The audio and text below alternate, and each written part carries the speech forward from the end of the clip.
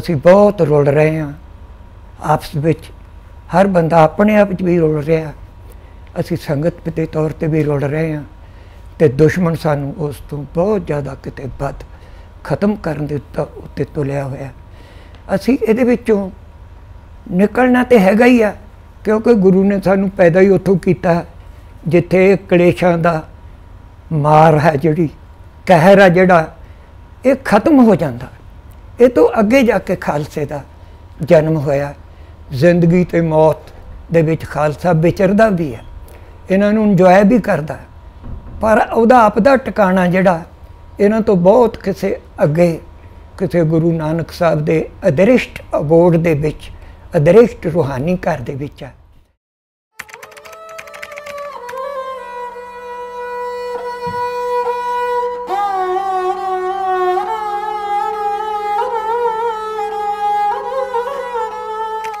ਉਹ ਸੁਖਮਨੀ ਸਾਹਿਬ ਦੇ ਬ੍ਰਹਮ ਗਿਆਨੀ ਆ ਜਿਹੜਾ ਗੁਰਮੁਖ ਆ।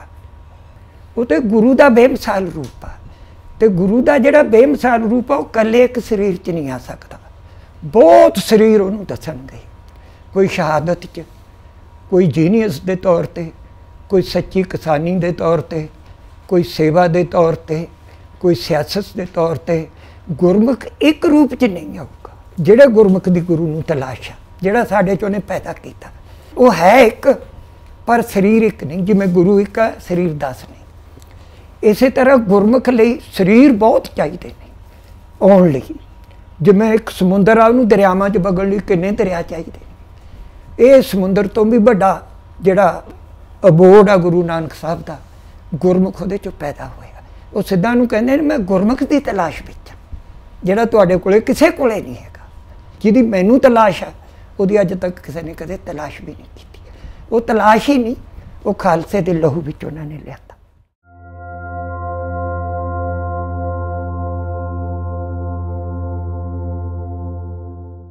ਜਿਵੇਂ ਸੂਫੀ ਲਿਖਦੇ ਨੇ, ਸ਼ਾਹ ਹੁਸੈਨ ਦੀ ਤੁਸੀਂ ਕਾਫੀ ਕਿਸੇ ਨੂੰ ਵੀ ਗਾਉਣ ਲਾ ਦਿਓ, ਉਹਦੇ ਚ ਵਿਰਾਗ ਆ ਜਾਊਗਾ। ਉਹ ਵਿਰਾਗ ਆ ਜਿਹੜਾ ਗੁਰਬਾਣੀ ਵਾਲਾ ਨਹੀਂ। ਕਿਉਂਕਿ ਗੁਰਬਾਣੀ ਦਾ ਬਰਾਗ ਆ ਜਿਹੜਾ ਉਹਦੇ ਨਾਲ ਸਿਦਕ ਵੀ ਹੈ ਸੰਭਾਲਣ ਵਾਲਾ। ਕਵੀ ਕੋਲੇ ਸਿਦਕ ਨਹੀਂ ਹੁੰਦਾ, ਗੁਰੂ ਕੋਲੇ ਹੁੰਦਾ। ਇਹ ਬਰਾਗ ਤੁਹਾਨੂੰ ਕਈ ਵਾਰੀ ਢਾਣ ਵਾਲਾ ਵੀ ਹੁੰਦਾ। ਤੁਹਾਨੂੰ ਨਿਰਾਸ਼ਤਾ ਵੱਲ ਵੀ ਲੈ ਜਾਂਦਾ। ਪਰ ਜਿਹੜਾ ਗੁਰਬਾਣੀ ਦਾ ਬਰਾਗ ਆ, ਉਹ ਬਹੁਤ ਵੱਡੀ ਪ੍ਰੋਸੈਸ ਨਾਲ ਜੁੜਿਆ ਹੋਇਆ। ਉਹ ਤੁਹਾਨੂੰ ਢੈਂਦੀ ਕਲਾ 'ਚ ਨਹੀਂ ਕਿਤੇ ਵੀ ਲੈ ਜਾਂਦਾ। ਉਹਦੇ 'ਚ ਇੱਕ ਬਹੁਤ ਵੱਡਾ ਸਿਦਕ ਆ। ਤੇ ਉਹ ਜਦੋਂ ਮੈਂ, ਇਹ ਡ੍ਰਿਫਟ ਹੁੰਦੀਆਂ ਨੇ। ਬਾਣੀ ਦੇ ਵਿੱਚ ਆਪਦੀ ਡ੍ਰਿਫਟ ਹੈ। ਜਿਵੇਂ ਪੂਰਨ ਸਿੰਘ ਨੂੰ ਤੁਸੀਂ ਕੋਈ ਸ਼ਬਦ ਲਿਆਓ, ਉਹ ਜਦੋਂ ਪੜੂਗਾ, ਤੁਹਾਨੂੰ ਇੱਕਦਮ ਦੱਸ ਦੂ ਫਰਾਨੇ ਭਗਤ ਦਾ ਸ਼ਬਦ ਹੈ। ਕਿਉਂਕਿ ਉਹਨੂੰ ਲਿਖਣ ਵਾਲਾ ਪਿੱਛੇ ਦੀਦਾ ਸਾਨੂੰ ਨਹੀਂ ਦੀਦੇ। ਤੁਸੀਂ ਜ਼ੋਰ ਲਾ ਲਓ ਚਾਹੇ। ਸਾਨੂੰ ਤਾਂ ਇੱਕੋ ਜਿਹੀ ਜਿਵੇਂ ਹੋਟਲਾਂ 'ਚ ਦਾਲ ਵੀ ਬਣਾ ਲਓ, ਸਬਜ਼ੀ ਬਣਾ ਲਓ, ਇੱਕੋ ਜਿਹੀ ਹੁੰਦੀ ਹੈ। ਕੋਈ ਖਾ ਲਓ ਚਾਹੇ। ਤੇ ਇਹ ਸਾਨੂੰ ਇੱਕੋ ਜਿਹੇ ਲੱਗਦੇ ਨੇ। ਪੂਰਨ ਸਿੰਘ ਦੀ ਜਿਹੜੀ ਆਪਣੀ ਕਿਤਾਬ ਹੈਗੀ ਆ 10 ਮਾਸਟਰਸ 10 ਗੁਰੂਆਂ ਦੇ ਉੱਤੇ ਅੰਗਰੇਜ਼ੀ ਚ ਬੜੀ ਸੋਹਣੀ ਕਿਤਾਬ ਆ, ਬੱਚਿਆਂ ਨੂੰ ਵੀ ਪੜਾਉਣ ਵਾਲੀ ਆ। ਉਹਦੀ ਭੂਮਿਕਾ ਅਰਨੈਸਟ ਰਾਈਜ਼ ਅੰਗਰੇਜ਼ ਨੇ ਲਿਖੀ ਆ। ਉਹ ਕਹਿੰਦਾ ਵੀ ਜਿਹੜਾ ਆਪਣੇ ਆ ਸ਼ਬਦ ਨੇ, ਸੰਨਿਆਸ ਆ, ਬ੍ਰਹਮ ਗਿਆਨੀ ਆ, ਗੁਰਮੁਖ ਆ, ਇਹ ਸਾਰੇ ਲਫ਼ਜ਼ ਪਹਿਲਾਂ ਸੀਗੇ ਯੋਗ ਆ। ਪਰ ਜਦੋਂ ਗੁਰੂ ਨਾਨਕ ਆਇਆ, ਭਗਤਾਂ ਵੇਲੇ ਵੀ ਸੀਗੇ।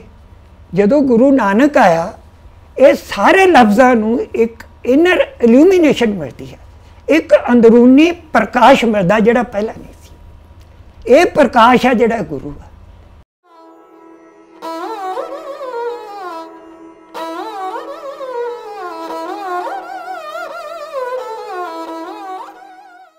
ਚੀਨ ਕੋਲੇ ਕਿਹੜੀ ਚੀਜ਼ ਸੀ? ਕਿਹੜੀ ਚੀਜ਼ ਉਹਨੂੰ ਚਾਹੀਦੀ ਸੀ? ਉਹ ਐਵੇਂ ਨਹੀਂ ਕਹੇ। ਚੀਨ ਕੋਲੇ ਜਿਹੜਾ ਖਿਆਲ ਆ ਖਾਲਸ ਕੁਦਰਤ ਦਾ ਗੁਰੂ ਨਾਨਕ ਦੀ ਜਿਹੜੀ ਖਾਲਸ ਕੁਦਰਤ ਹੈ, ਸਭ ਤੋਂ ਵਧੀਆ ਵਰਲਡ ਦੇ ਵਿੱਚ ਉਹ ਚੀਨ ਕੋਲੇ ਆ। ਚੀਨ ਕੋਲੇ ਪੈਗੰਬਰ ਨਹੀਂ, ਪਰ ਉਹਨਾਂ ਦੇ ਕੋਲੇ ਕੁਝ ਉਹ ਖਿਆਲ ਨੇ, ਸਭ ਤੋਂ ਪੁਰਾਣਾ ਧਰਮ ਚੀਨ ਹੈ, ਗੁਰੂ ਨਾਨਕ ਦੇ ਸਭ ਤੋਂ ਵੱਧ ਨੇੜੇ ਚੀਨ ਹੈ। ਖਾਲਸ ਕੁਦਰਤ ਹੈ ਜਿਵੇਂ ਤੁਸੀਂ ਫਰਜ਼ ਕਰ ਲਓ ਆਪਾਂ ਸਾਰੇ ਬੈਠੇ ਹਾਂ ਬੈਠੇ ਹਾਂ ਨਾ, ਐ ਬ੍ਰਹਿਮੰਡ ਹੈ ਇੱਕ ਚੰਨ ਤਾਰੇ ਧਰਤੀਆਂ ਚੀਜ਼ਾਂ ਨੇ ਹੈਗੀਆਂ ਨੇ ਨਾ ਉਹਦੇ ਵਿੱਚ ਤੁਸੀਂ ਕੁਝ ਸੋਚਦੇ ਹੋ। ਉਹ ਵੀ ਕੁਦਰਤ 'ਚ ਚਲਿਆ ਗਿਆ। ਹਿੰਦੂ ਮਤ ਸੋਚਦਾ ਕਿ ਨਹੀਂ? ਹਿੰਦੂ ਮਤ ਆਪਣੀ ਤਰ੍ਹਾਂ ਸੋਚਦਾ ਫਲਸਫੀ 'ਚ। ਇਹ ਗਾਹਾਂ ਦੀ ਗਾਹਾਂ ਹੀ ਜਾਈ ਜਾਂਦਾ। ਜਿਵੇਂ ਕੋਈ ਚੀਜ਼ ਖੱਡ ਪੱਟੀ ਜਾਂਦੀ ਹੈ। ਪਰ ਜਿਉਂ-ਜਿਉਂ ਜਾਈ ਜਾਂਦਾ, ਉਹਦੇ 'ਚ ਵਿਰਾਨੀ ਹੋਈ ਆ। ਉਹਦੇ 'ਚ ਰੌਣਕ ਨਹੀਂ ਹੈਗੀ। ਉਹ ਬੇਰੌਣਕੀ ਵੀ ਕੁਦਰਤ ਦੇ ਵਿੱਚ ਪਈ ਆ। ਹਰ ਖਿਆਲ ਕੁਦਰਤ ਨੇ ਸੰਭਾਲਿਆ ਹੋਇਆ। ਕੁਦਰਤ ਦੇ ਵਿੱਚ ਹਰੇਕ ਚੀਜ਼ ਪਈ ਹੈ ਹੁਣ ਉਹਦੇ ਵਿੱਚ ਇੱਕ ਖਾਲਸ ਚੀਜ਼ ਵੀ ਪਈ ਹੈ, ਕੁਦਰਤ 'ਚ। ਜਿਹੜੀ ਖਾਲਸ ਚੀਜ਼ ਆ, ਗੁਰੂ ਨਾਨਕ ਉਹਨੂੰ ਖਾਲਸ ਕੁਦਰਤ ਕਹਿੰਦਾ। ਉਹ ਕੁਦਰਤ ਆ ਉਹਦੀ ਅਸਲ। ਉਹ ਕੁਦਰਤ ਧਰਮਾਂ ਨੂੰ ਵੀ ਵੱਡੀ ਆ। ਸਾਰੇ ਬ੍ਰਹਮੰਡ ਦੇ ਧਰਮ ਨੇ ਜਿਹੜੇ ਉਹ ਕੁਦਰਤ ਨੇ ਸੰਭਾਲੇ ਹੋਏ ਨੇ। ਹਰ ਜਾਪ ਉਹਦੇ ਕੋਲੇ ਆ। ਜਿਵੇਂ ਗੁਰੂ ਨਾਨਕ ਸਾਹਿਬ ਦੀ ਪੌੜੀ ਆ, ਤੌਲ ਧਰਮ, ਦਇਆ ਕਾ ਪੂਤ, ਸੰਤੋਖ ਥਾਪ ਰੱਖਿਆ ਜਿਨ ਸੂਤ। ਜੇ ਕੋ 부ਝੇ ਹੋਵੇ ਸਚਿਆਰ ਤਵਲੇ ਉੱਪਰ ਕੇਤਾ ਪਾਰ ਧਰਤੀ ਹੋਰ ਪਰੇ ਹੋਰ ਤਿਸ ਤੇ ਪਾਰ ਤਲੇ ਕਬਰ ਜੋਰ। ਉਹ ਕਹਿੰਦੇ, ਇਹ ਧਰਤੀ ਨੂੰ ਧਰਮ ਨੇ ਤੌਲ ਨੇ ਸੰਭਾਲਿਆ। ਹਿੰਦੂ ਤੌਲ ਨੇ ਨਹੀਂ, ਧਰਮ ਦਾ ਤੌਲ ਉਹ ਤਾਂ ਉਹ ਤਿੰਨੇ ਦੇਵਤਿਆਂ ਨੂੰ ਹੀ ਰਿਜੈਕਟ ਕਰ ਦਿੰਦੇ ਨੇ ਇੱਥੇ। ਇਹ ਕੰਮ ਆਈ ਜੁਗਤ ਬਿਆਈ ਕਿ ਤਾਂ ਜੁਗਤਾਂ ਚੋਂ ਪੈਦਾ ਹੋਏ ਨੇ। ਜੁਗਤ ਅਕਲ ਦੀ ਚੀਜ਼ ਹੈ। ਜੁਗਤ ਦਾ ਬਾਣੀ ਨਾ ਧਰਮ, ਨਾ ਦੀਨ ਨਾਲ ਸੰਬੰਧ ਹੀ ਨਹੀਂ ਹੁੰਦਾ। ਜੁਗਤ ਤੋਂ ਜਿਹੜੀ ਵੀ ਚੀਜ਼ ਪੈਦਾ ਹੁੰਦੀ ਹੈ ਹਿੰਦੂ ਜੁਗਤ ਚੋਂ ਪੈਦਾ ਕਰਦਾ। ਹਰ ਚੀਜ਼ ਜੁਗਤ ਚੋਂ ਆਈ ਹੈ। ਉਹ ਕਹਿੰਦੇ ਇਹ ਜੀਆਂ ਵੀ ਧਰਤੀਆਂ ਨੇ, ਹੈਰਾਨੀ ਇਹ ਆਊਗੀ ਵੀ ਅਸੀਂ ਧਰਮ ਵੱਡਾ ਮੰਨਦੇ ਆ ਧਰਮ ਨੂੰ ਵੀ ਵੱਡੇ ਧਰਮ ਹੈਗੇ ਬ੍ਰਹਮੰਡ ਦੇ ਵਿੱਚ। ਜਿਹੜੇ ਕੁਦਰਤ ਨੇ ਉਹ ਜਾਪ ਸੰਭਾਲੇ ਹੋਏ ਗੁਰੂ ਨਾਨਕ ਇਹ ਕਹਿੰਦਾ। ਫਿਰ ਇਹਦਾ ਮਤਲਬ ਆ ਕਿ ਸਾਰੇ ਬ੍ਰਹਮੰਡ ਦੀ ਇਹ ਸਾਂਝੀ ਪ੍ਰੇਅਰ ਆ।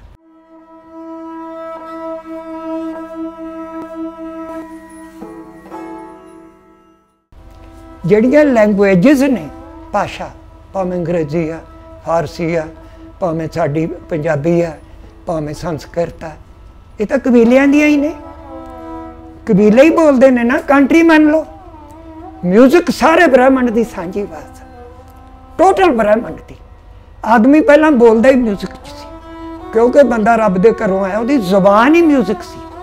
ਜਿਵੇਂ ਪੰਛੀ ਨੇ, ਇਹਨਾਂ ਦੀ ਜ਼ੁਬਾਨ ਥੋੜਾ ਇਹ ਆਵਾਜ਼ ਤੋਂ ਹੀ ਦੱਸ ਦਿੰਦੇ ਨੇ ਕਿ ਮੇਰਾ ਨਾਲ ਦੇ ਬੰਦੇ ਦੀ ਮੌਤ ਹੋ ਗਈ ਸਾਰੇ ਪੰਛੀ ਸਾਈਡ ਹੋ ਜਾਂਦੇ ਨੇ ਇਹਨਾਂ ਕੋਲੇ ਆਵਾਜ਼ ਆ ਜਿਹੜੀ ਉਹ ਲੈਂਗੁਏਜ ਹੈ 뮤직 ਲੈਂਗੁਏਜ ਹੈ ਗੁਰਬਾਣੀ ਨੇ ਸਾਡਾ ਲੈਂਗੁਏਜ 뮤직 ਨੂੰ ਦਿੱਤੀ ਹੈ ਉੱਤੇ ਰਾਗ ਆ ਰਾਗ ਅਸੀਂ ਜਿਵੇਂ ਪੰਛੀ ਦੇ ਖੰਭ ਪੱਟ ਦਿੰਦੇ ਆ ਪਰੇ ਰੱਖ ਦਈਦੇ ਨੇ ਧੜ ਦੀ ਗੱਲ ਕਰੀ ਜਾਂਦੇ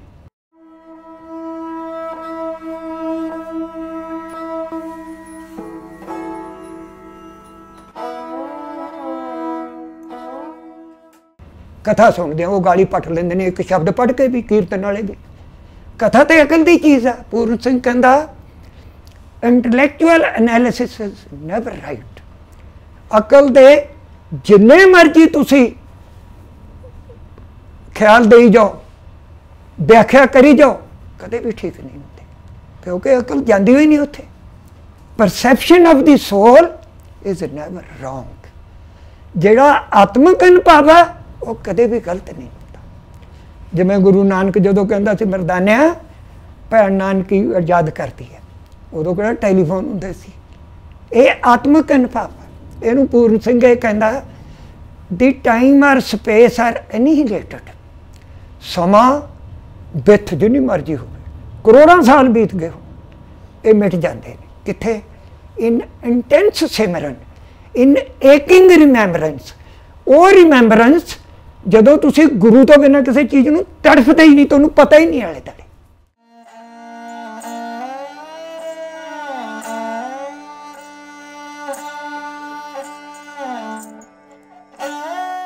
ਪਹਿਲਾਂ ਮੈਂ ਇੱਕ ਪੇਪਰ ਪਾਇਆ ਬਈ ਲੈਂਗੁਏਜਸ ਟ੍ਰਾਈਬਸ ਦੀਆਂ ਜ਼ਬਾਨਾਂ ਨੇ ਇੰਗਲਿਸ਼ ਚ। ਉਹ ਤਿੰਨ ਚਾਰ ਕੁ ਸਫੇ ਦਾ ਹੀ ਸੀ।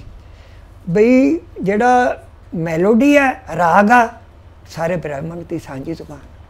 ਬਈ ਗੁਰੂ ਗ੍ਰੰਥ ਸਾਹਿਬ ਸਾਰੇ ਬ੍ਰਹਮੰਡ ਦੀ ਸਾਂਝੀ ਜ਼ੁਬਾਨ ਫਿਰ ਮੈਂ ਉਹਦੇ 'ਚ ਇੰਨਾ ਕਿ ਲਿਖਿਆ ਬਈ ਸ਼ੈਕਸਪੀਅਰ ਦਾ ਜਿਹੜਾ ਹੈਮਲਟ ਆ ਉਹਦੇ ਵਿੱਚ ਉਹ ਕਹਿੰਦਾ ਉਹਦਾ ਦੋਸਤ ਹਰੇਸ਼ੀਓ ਨੂੰ ਸਵਾਲ ਕਰਦਾ ਤੁਸੀਂ ਦੇਖੋ ਨਾ ਇਹ ਕੰਮ ਕਿਸ ਤਰ੍ਹਾਂ ਦਾ ਗੁਰੂ ਨੇ ਕਰਾ ਲਿਆ ਉਹ ਕਹਿੰਦਾ there are more things in heaven and earth Horatio ਉਹ ਦੋਸਤ ਉਹਦਾ ਬਹੁਤ ਗੁੱਡਾ than are dreamt of in your philosophy ਜਿਹੜੀ ਤੇਰੀ ਫਿਲਾਸਫੀ ਚ ਤੂੰ ਜਿੱਥੋਂ ਤੱਕ ਵੀ ਸੁਪਨੇ ਲਏ ਨੇ, ਧਰਤੀ 'ਚ ਵੀ ਉਦੋਂ ਚੀਜ਼ਾਂ ਵੱਧ ਨੇ, ਅਸਮਾਨ 'ਚ ਵੀ ਪਈਆਂ ਨੇ। ਹੁਣ ਉਹਦੇ ਮੂਰੇ ਸ਼ੈਕਸਪੀਅਰ ਮੂਰੇ ਹੈਮਲਟ ਮੂਰੇ ਬਾਈਬਲ ਵੀ ਹੈ। ਪੁਰਾਣੀ ਬਾਈਬਲ ਵੀ, ਨਵੀਂ ਬਾਈਬਲ ਵੀ, ਕੁਰਾਨ ਵੀ ਹੈ। ਇਹ ਕਿਉਂ ਕਿਹਾ ਉਹਨੇ? ਸ਼ੈਕਸਪੀਅਰ ਵੀ ਮੈਲੋਡੀ ਨੂੰ ਵੱਡੀ ਥਾਂ ਦਿੰਦਾ। ਜਿੱਥੇ ਮੈਲੋਡੀ ਹੁੰਦੀ ਹੈ, ਉਹ ਫਿਨਿਸ਼ਿੰਗ ਆ ਮੈਲੋਡੀ ਇੱਕ ਆਖਰੀ ਫੈਸਲਾ ਦਿੰਦੀ ਹੈ ਉਹਦੇ 'ਚ। ਉਹ ਮੈਲੋਡੀ ਆ ਜਿਹੜੀ, ਉਹ ਪ੍ਰੇਅਰ 'ਚ ਆ ਗਈ।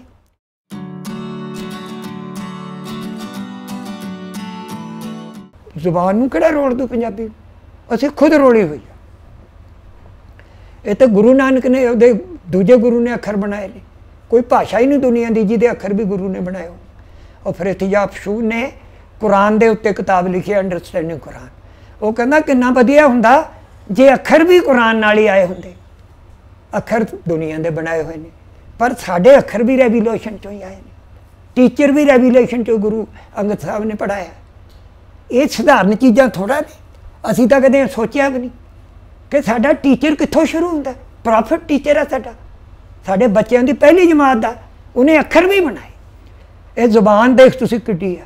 ਇਹਦੇ ਚ ਵਰਣ ਵੰਡ ਨਹੀਂ ਜਾਤ ਪਾਤ ਦੀ ਵੰਡ ਪੰਜਾਬੀ ਭਾਸ਼ਾ ਚ ਨਹੀਂ ਹੈ ਜਿਵੇਂ ਇੱਥੋਂ ਦੀਆਂ ਲੋਕ ਕਥਾਵਾਂ ਨੇ, ਇਹਨਾਂ ਚ ਨਹੀਂ। ਕਿਸੇ ਚ ਨਹੀਂ ਹੈਗੀ। ਇਹ ਜਾਤ ਪਾਤ ਬਾਕੀ ਸਾਰੀ ਹਿੰਦੋ ਹਿੰਦੁਸਤਾਨ ਦੀਆਂ ਜ਼ੁਬਾਨਾਂ ਜਾਤ ਪਾਤ ਦੀ ਵੰਡ ਚ ਨੇ।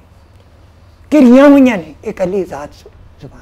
ਇਹ ਰਲਦੀ ਹੋਈ ਨਹੀਂ ਇੰਡੀਆ ਨਾ ਸਾਡਾ ਕਲਚਰ ਰਲਦਾ। ਜੀਓਗ੍ਰਾਫੀਕਲੀ ਅਸੀਂ ਇਕੱਠੇ ਸੀਗੇ। ਸਾਡਾ ਕੁਝ ਵੀ ਨਹੀਂ ਇਹਨਾਂ ਨੂੰ ਮਿਲਦਾ। ਜ਼ੀਰੋ ਵੀ ਨਹੀਂ ਚੀਜ਼ ਮਿਲਦੀ। ਉਹ ਨਹੀਂ ਉਹ ਮਿਲਦੀ ਆ ਜਿੰਨੀ ਅਸੀਂ ਗੋਰਿਆਂ ਨਾਲ ਮਿਲਦੇ ਆ, ਕਾਲਿਆਂ ਨਾਲ ਮਿਲਦੇ ਆ। ਬਸ ਇਹ ਤੋਂ ਵੱਧ ਨਹੀਂ ਅਸੀਂ ਮਿਲਦੇ। ਇਹ ਗੱਲ ਸਾਨੂੰ ਪਹਿਲਾਂ ਹੀ ਚੱਲ ਕੇ ਚੱਲਣੀ ਚਾਹੀਦੀ। ਸਿਰਫ ਇਹਦੀਆਂ ਟ੍ਰੈਡੀਸ਼ਨਸ ਨੇ। ਵਰਲਡ ਟ੍ਰੈਡੀਸ਼ਨਸ ਗੁਰੂ ਗ੍ਰੰਥ ਸਾਹਿਬ ਦੇ ਵਿੱਚ ਨੇ ਕਿ ਆ ਤਿਉਹਾਰ ਆ ਗਏ ਸ਼ੁੱਧ ਰੂਪ 'ਚ ਬੱਚੇ ਮਨਾਉਂਦੇ ਨੇ ਜਾਂ ਬੇਟੀਆਂ ਮਨਾਉਂਦੀਆਂ ਨੇ ਜਾਂ ਕੁਆਰੀਆਂ ਬੇਟੀਆਂ ਹੁੰਦੀਆਂ ਨੇ ਜਾਂ ਨੌਜਵਾਨ ਬੰਦੇ ਜੰਗਾਂ ਲੜਦੇ ਨੇ। ਉਹ ਟ੍ਰੈਡੀਸ਼ਨਸ ਦੀਆਂ ਜਿਹੜੀਆਂ ਕੀਮਤੀ ਚੀਜ਼ਾਂ ਨੇ, ਕਿਉਂਕਿ ਗੁਰੂ ਨੇ ਹਰੇਕ ਚੀਜ਼ ਨਾਲ ਨਿਆਂ ਕਰਨਾ। ਜਿਹੜੀ ਚੀਜ਼ ਉਹਦੇ ਵੱਡੇ ਰਾਹ ਨਾਲ ਤੁਰ ਸਕਦੀ ਹੈ ਉਹਨੇ ਲੈਣੀ ਹੈ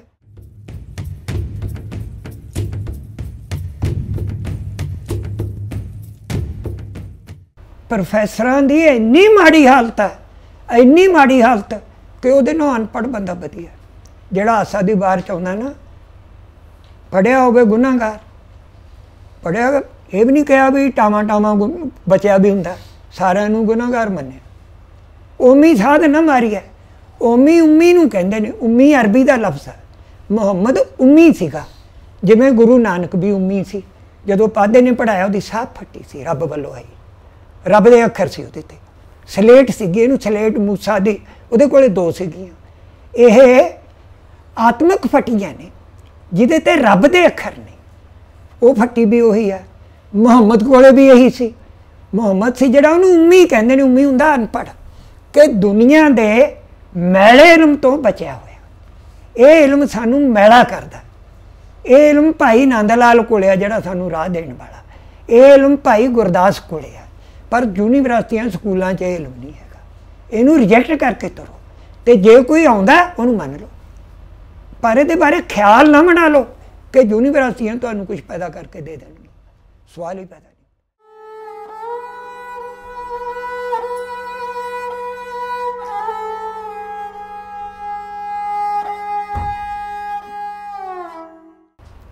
ਗੁਰਬਾਣੀ ਦੇ ਵਿੱਚ ਦੋ ਚੀਜ਼ਾਂ ਨੇ। ਇੱਕ ਨਾਮ ਆ ਇੱਕ ਸ਼ਬਦ ਆ। ਨਾਮ ਆ ਜਿਹੜਾ, ਨਾਮ ਚੋਂ ਚੀਜ਼ਾਂ, ਨਾਮ ਚੋਂ ਖਾਲਸਾ ਸਾਜਿਆ। ਨਾਮ ਚੋਂ ਸ਼ਬਦ ਪੈਦਾ ਹੁੰਦਾ। ਸ਼ਬਦ ਚੋਂ ਨਾਮ ਪੈਦਾ ਨਹੀਂ ਹੁੰਦਾ।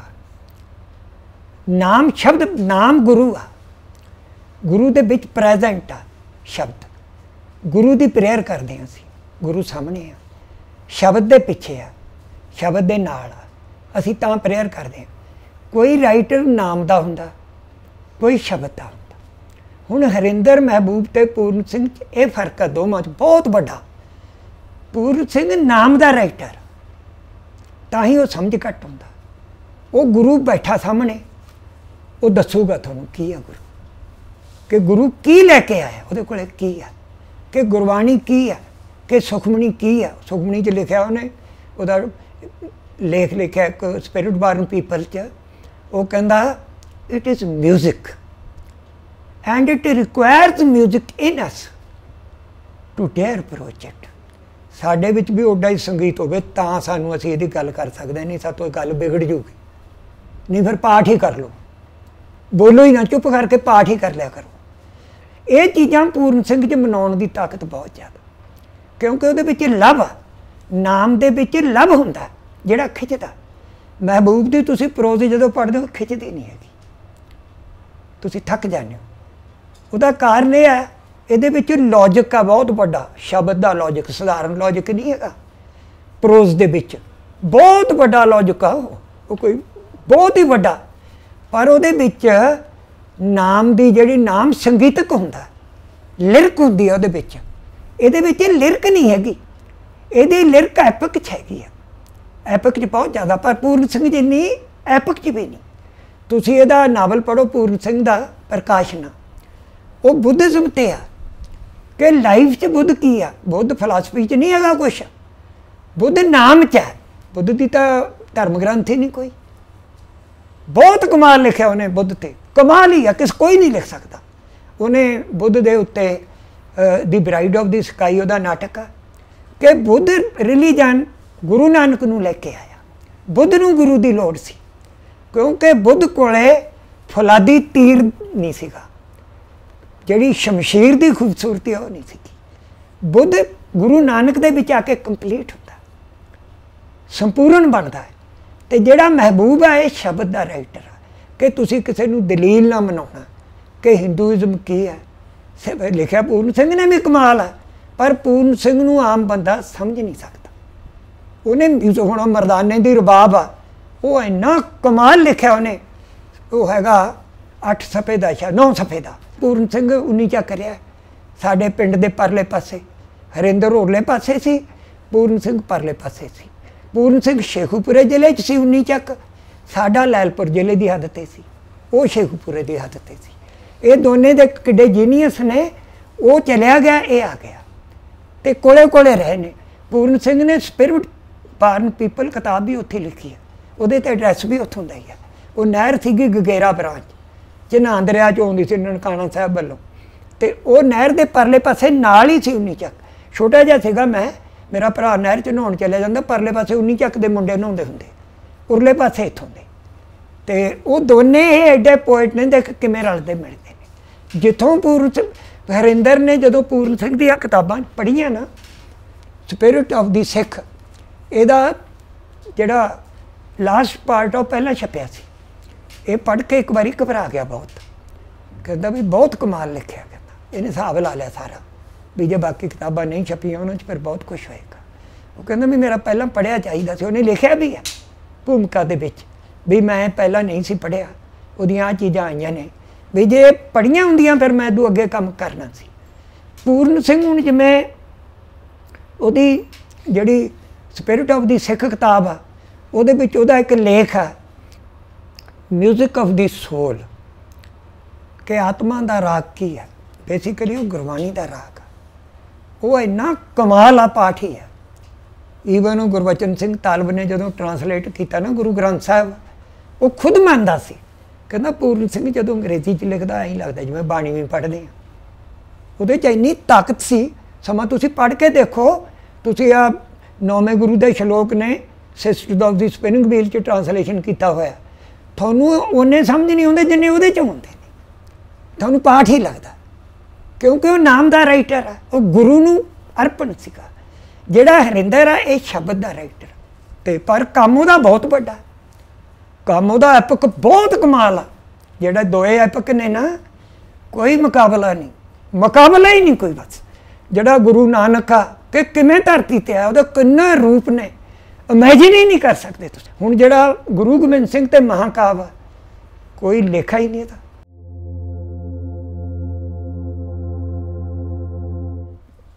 ਪੋਇਟ ਦੋ ਕਿਸਮ ਦੇ ਹੁੰਦੇ ਨੇ, ਜਿਵੇਂ ਟੈਗੋਰ ਵਰਗਾ ਡਾਕਟਰ ਕਵਾਲ। ਟੈਗੋਰ ਕੋਲੇ ਐਪਿਕ ਨਹੀਂ ਹੈਗਾ। ਐਪਿਕ ਬਹੁਤ ਵੱਡੇ ਪੋਇਟ ਕੋਲੇ ਹੁੰਦਾ। ਐਪਿਕ 4-500 ਸਾਲ ਬਾਅਦ ਦੁਨੀਆ 'ਚ ਆਇਆ। ਸਾਰੀ ਵਰਲਡ 'ਚ। ਪਹਿਲਾ ਹੋਮਰ ਸੀ ਉਦੋਂ ਬਾਅਦ ਡਾਂਟੇ ਆਇਆ ਡਾਂਟੇ ਤੋਂ ਬਾਅਦ ਮਿਲਟਨ ਆਇਆ। ਮਿਲਟਨ ਤੋਂ ਬਾਅਦ ਡਾਂਟੇ ਦੇ ਨਾਲ ਹੀ ਰੂਮੀ ਆ। ਤੂੰ ਦੇਖ ਕਿੰਨੇ ਕਿੰਨੇ। ਰੂਮੀ ਆਇਆ ਉਦੋਂ ਬਾਅਦ ਮਿਲਟਨ ਆਇਆ। ਬਾਕੀ ਉਹਦਾ ਵੀ ਹੈਗਾ ਇੱਕ ਐਡਮਨ ਆਰਨਲਡ ਦਾ ਲਾਈਟ ਆਫ ਏਸ਼ੀਆ ਪਰ ਉਹ ਇਹਨਾਂ ਨੂੰ ਘੱਟ ਆ। ਉਹ ਬਹੁਤ ਘੱਟ ਆ, ਉਹ ਤੋਂ ਸਧਾਰਨ ਜਿਹਾ ਹੀ ਆ। ਇਹਨਾਂ ਦੇ ਮੁਕਾਬਲੇ 'ਚ। ਉਦੋਂ ਬਾਅਦ ਐਪਿਕ ਹਰਿੰਦਰ ਨਹੀਂ ਲਿਖੇ ਨੇ। ਵਰਲਡ ਦੇ ਵਿੱਚ ਥੋੜੇ ਜਿਹੇ ਹੀ ਨੇ, ਪਰ ਇਹ ਬਹੁਤ ਕਮਾਲ ਦੇ ਨੇ। ਇਹਨਾਂ ਦੇ ਫੈਸਲਿਆਂ ਨੂੰ ਕਿਸੇ ਨੇ ਚੈਲੰਜ ਨਹੀਂ ਕੀਤਾ। ਜਿਹੜਾ ਡਿਵਾਈਨ ਕਾਮੇਡੀ ਆ, ਉਹ ਇਹ ਦੱਸਦੀ ਆ ਕਿ ਤੁਸੀਂ ਜ਼ਿੰਦਗੀ 'ਚ ਕੀ ਕਰ ਰਹੇ ਹੋ? ਤੁਹਾਡਾ ਕੀ ਮੁੱਲ ਪੈ ਰਿਹਾ ਵੱਡੇ ਨੇਮ ਦੇ ਵਿੱਚ? ਹਰ ਬੰਦੇ ਦਾ। ਕੋਈ ਆ ਚਾਹੇ ਚਾਹੇ ਕਿਸ ਕੋਈ ਤੁਹਾਨੂੰ ਜਾਣਦਾ, ਚਾਹੇ ਨਹੀਂ ਜਾਣਦਾ, ਚਾਹੇ ਤੁਸੀਂ ਛੁਪੇ ਬੈਠੇ ਹੋ, ਚਾਹੇ ਸਾਹਮਣੇ ਬੈਠੇ ਹੋ ਕੋਈ ਚੋਰ ਆ, ਕੋਈ ਭਲਾ ਬੰਦਾ, ਕੋਈ ਸੱਚਾ, ਕੋਈ ਡਾਕੂ ਆ ਕੋਈ ਬੇਵਿਚਾਰੀ ਆ, ਸਭ ਬੰਦਿਆਂ ਦੀਆਂ ਸਾਰਿਆਂ ਦੇ ਲੇਖੇ ਹੋ ਰਹੇ ਨੇ। ਹਰ ਆਦਮੀ ਨੂੰ ਉਹਦਾ ਮੁੱਲ ਮਿਲ ਰਿਹਾ। ਸਜ਼ਾ ਉਹਨੂੰ ਉਹ ਇਨਫਰਨੋ ਕਹਿੰਦਾ, ਨਰਕ। ਫਿਰ ਨਰਕ ਦੇ ਵਿੱਚ ਜਿਹੜੀ ਸਭ ਤੋਂ ਡਰਾਉਣੀ ਸਜ਼ਾ ਬੰਦੇ ਨੂੰ, ਉਹਨੂੰ ਮੇਲ ਬਾਲਕ ਲਿਖਿਆ ਉਹਨੇ। ਉਹ 9 ਜਾਂ 10 ਹਿੱਸਿਆਂ ਦੇ ਵਿੱਚ ਆ।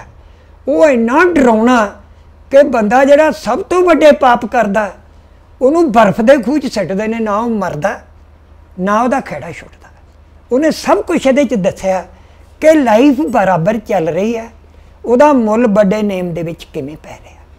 ਕਿ ਤੁਸੀਂ ਭਾਵੇਂ ਗੁਰੂ ਦੇ ਨਾਲ ਬੈਠੇ ਹੋ, ਪਰ ਗੁਰੂ ਦੀ ਮੰਜ਼ਿਲ ਤੱਕ ਜਾਣ ਲਈ ਤੁਹਾਨੂੰ ਉਹਨਾਂ ਰਾਹਾਂ ਤੇ ਹੀ ਤੁਰਨਾ ਪਊਗਾ। ਬੈਠੇ ਨੇੜੇ ਹੀ ਹੋ, ਮੰਜ਼ਿਲ ਨੇੜੇ ਨਹੀਂ ਹੈਗੀ। ਮੰਜ਼ਿਲ ਬਹੁਤ ਦੂਰ ਆ, ਸਫ਼ਰ ਬਹੁਤ ਲੰਮਾ। ਜਿਵੇਂ ਪੂਰਨ ਸਿੰਘ ਕਹਿੰਦਾ ਕਹਿੰਦਾ ਜਿਵੇਂ ਪਹਿਲੀ ਜਮਾਤ ਚ ਬੱਚਾ ਉਡਾੜਾ ਸਿੱਖਦਾ ਨਾ, ਉਹਨੂੰ ਪਤਾ ਵੀ ਨਹੀਂ ਹੁੰਦਾ, ਉਹਦੇ ਅੰਦਰ ਅੱਖਰ ਬਣਦੇ ਨੇ, ਐ ਰਿਲੀਜਨ ਸਮਝ ਆਉਂਦਾ। ਸਭ ਤੋਂ ਵੱਧ ਮਿਹਨਤ ਰਿਲੀਜਨ ਤੇ ਕਰਨੀ ਪੈਂਦੀ, ਜਿਹੜੀਆਂ ਇਹ ਚੀਜ਼ਾਂ ਨੇ। ਇਹ ਤਾਂ ਹੁਣ ਇਹਨਾਂ ਸਾਰਿਆਂ ਪੋਇਟਸ ਦਾ, ਹੁਣ ਜਿਵੇਂ ਮੌਲਾਨਾ ਰੂਮੀ ਆ, ਤੁਸੀਂ ਜਿੰਨੀਆਂ ਪੁਰਾਣੀਆਂ ਕਹਾਣੀਆਂ ਨੇ, ਸਾਰੀਆਂ, ਜਿੰਨੀਆਂ ਵੀ ਆ ਤੋਤਾ ਮੈਨਾਂ ਦੀਆਂ ਕਹਾਣੀਆਂ ਨੇ ਅਸੀਂ ਪੁਰਾਣੀਆਂ ਮਾਵਾਂ ਸਾਡੀਆਂ ਕਹਾਣੀਆਂ ਸੁਣਾਉਂਦੀਆਂ ਸੀ। ਇਹਨਾਂ ਕੁਹਾ- ਕਹਾਣੀਆਂ ਦੇ ਵਿੱਚ ਕੁਰਾਨ ਰੱਖ ਦਿੰਦਾ। ਕੁਰਾਨ ਦੀ ਮੈਨੀਫੈਸਟੇਸ਼ਨ ਕਰ ਦਿੰਦਾ। ਇਹ ਰੱਬ ਦੇ ਘਰ ਦੀਆਂ ਸਟੋਰੀਜ਼ ਬਣ ਜਾਂਦੀਆਂ ਇਹਨਾਂ ਨੂੰ ਡਿਵਾਈਨ ਸਟੋਰੀਜ਼ ਕਹਿੰਦੇ ਨੇ। 올ਡ ਸਟੋਰੀਜ਼ ਇਹ ਡਾਂਟੇ 'ਚ ਵੀ ਉਵੇਂ ਨੇ। ਸ਼ੈਕਸਪੀਅਰ 'ਚ ਵੀ ਉਵੇਂ ਨੇ। ਮੌਲਾਨਾ ਰੂਮੀ 'ਚ ਵੀ। ਇਹ ਬਹੁਤ ਵੱਡੀਆਂ ਕਹਾਣੀਆਂ ਨੇ। ਜਿਵੇਂ ਸਾਡੀਆਂ ਆਹ ਲੋਕ ਕਥਾਵਾਂ ਨੇ। ਇਹ ਬਹੁਤ ਵੱਡੀਆਂ ਕਹਾਣੀਆਂ ਨੇ। ਇਹਨਾਂ ਦਾ ਕਿਸੇ ਦਾ ਕੋਈ ਬੱਚਾ ਨਹੀਂ। ਇਹ ਤਾਂ ਸੋਚ ਕੇ ਦੇਖੋ ਤੁਸੀਂ, ਇਹ ਮੰਤਰ ਮੁਗਧ ਹੋ ਜਾਂਦੇ ਸੀ। ਇੰਨਾ ਇਹਨਾਂ ਦੇ ਅੰਦਰ ਪਿਆਰ ਦਾ ਜਨੂਨ ਸੀ। ਸਰੀਰ ਕੀ ਯਾਦ ਹੀ ਨਹੀਂ ਸੀ ਰਹਿੰਦੀ। ਇਹ ਤੇ ਮੌਤ ਤੋਂ ਅਗਲਾ ਲੱਭ ਇਹਦੇ ਤੇ ਹਰਿੰਦਰ ਨੇ ਲਿਖਿਆ ਬਹੁਤ ਕਮਾਲ। ਉਹ ਮੈਂ ਜਦੋਂ ਉਹਦੇ ਚ ਕਿਤਾਬ ਚ, ਪਹਿਲੀ ਕਿਤਾਬ ਦੀ ਭੂਮਿਕਾ ਚ ਲਿਖਿਆ ਹੋਇਆ ਪੜ੍ਹ ਕੇ ਦੇਖੋ, ਉਹਦੇ ਚ ਹੈਗਾ ਜਿਸ ਦੇ ਜੋਬਨ ਮਰ ਮਿਟ ਜਾਣਾ, ਹੀਰ ਨਾ ਉਸ ਬਨੇਰੇ। ਹੀਰ ਉਹ ਬਨੇਰੇ ਤੇ ਖੜੀ ਹੋਈ ਨਹੀਂ, ਕਹਿੰਦੀ ਜਿੱਥੋਂ ਬੰਦੇ ਨੇ ਜੋਬਨ ਨੇ ਤਬਾਹ ਹੋ ਕੇ ਡਿੱਗ ਪੈਣਾ। ਰੰਗ ਕਸੁੰਭਾ ਜਿਸ ਥਾਂ ਵਿਕਦਾ, ਰੰਗ ਕਸੁੰਭਾ ਦੁਨੀਆਦਾਰੀ ਚੀਜ਼ ਉਸ ਤੋਂ ਖੜੀ ਹੋ ਗਈ ਉਹਦਾ ਦੂ ਅਗਲਾ ਥਾਂ। ਜੇ ਨਾ ਬੰਗ ਅੰਬਰ ਦੀ ਟੁੱਟੇ, ਸਾਰਾ ਸਮਾਨ ਹੀਰ ਦੀ ਜੇ ਬੰਗ ਬਣਾਵੇ, ਉਹ ਵੀ ਭੰਨ ਦੂਗੀ, ਕਹਿੰਦਾ ਇੰਨੀ ਤਾਕਤ ਆ ਉਹਦੇ 'ਚ। ਜੋਬਨ ਹੀਰ ਦਾ ਬੱਲਾ, ਜੇ ਸਮਾਨ ਦੀ ਬੰਗ ਉਹਦੀ ਝਾਲ ਚੱਲ ਲਵੇ ਨਾ, ਫੇਰ ਹੀ ਉਹਦੇ ਜੋਬਨ ਦੀ ਗੱਲ ਕਰੂ ਸਕਦਾ ਮੈਂ। ਪੋਇਟ ਆਮ ਬੰਦਾ ਮੈਂ ਕੀ ਚੀਜ਼ ਆ?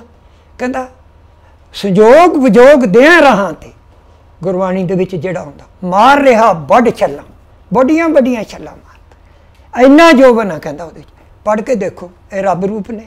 ਇਹਨਾਂ ਨੂੰ ਜਦੋਂ ਪੂਰਨ ਸਿੰਘ ਨੇ ਟਰਾਂਸਲੇਸ਼ਨ ਕੀਤਾ, ਇਹਨਾਂ ਨੂੰ ਜਿਹੜੇ ਉਹ ਗੋਰੇ ਨੇ, ਇਹ 올ਡ ਟੈਸਟਾਮੈਂਟ ਦੇ ਪੈਗੰਬਰਾਂ ਨਾਲ ਮਿਲਾਉਂਦੇ ਨੇ ਨਾ, ਸੁਲੇਮਾਨ ਤੇ ਰੂਥ ਨਾਲ, ਸਾਡੇ ਆ ਰਾਂਝੇ ਵਗੈਰਾ ਅਸੀਂ ਇਹਨਾਂ ਨੂੰ ਹੀ ਸਮਝ ਲੈਨੇ ਉਹਨਾਂ ਨੂੰ ਐ ਕਿਉਂ ਲੱਗੇ? ਇਹ ਬਹੁਤ ਪਵਿੱਤਰ ਕਹਾਣੀਆਂ ਨੇ। ਇਹ ਗੁਰੂ ਨੂੰ ਸੂਫੀ ਲੈ ਕੇ ਆਏ, ਕਿੱਸਾਕਾਰ ਲੈ ਕੇ ਆਏ, ਇਥੋਂ ਦੀ ਜ਼ੁਬਾਨ ਲੈ ਕੇ ਆਈ, ਇਥੋਂ ਦਾ ਗ੍ਰਸਤ ਲੈ ਕੇ ਆਇਆ ਮਾਮਾ ਲੈ ਕੇ ਆਈਆਂ। ਪੂਰਨ ਸਿੰਘ ਕਹਿੰਦਾ, ਭਾਵੇਂ ਸਾਡੀਆਂ ਮਾਮਾ ਭੈਣਾਂ ਕਿਸੇ ਨੂੰ ਵੀ ਮੰਨਣ। ਕਹਿੰਦਾ, ਪੂਜੋ ਚੋਂ ਹੀ ਅਸਲ ਗੁਰੂ ਰੱਬ ਲੈਂਦੀਆਂ ਨੇ। ਪੰਜਾਬ ਦੀ ਇਸਤਰੀ ਕਹਿੰਦਾ, ਐਡੀ ਵੱਡੀ ਆ। ਕਹਿੰਦਾ ਆਪਦੇ ਆਦਮੀ ਨੂੰ ਹੀ ਐਡਾ ਵੱਡਾ ਮੰਨਦੀ ਆ।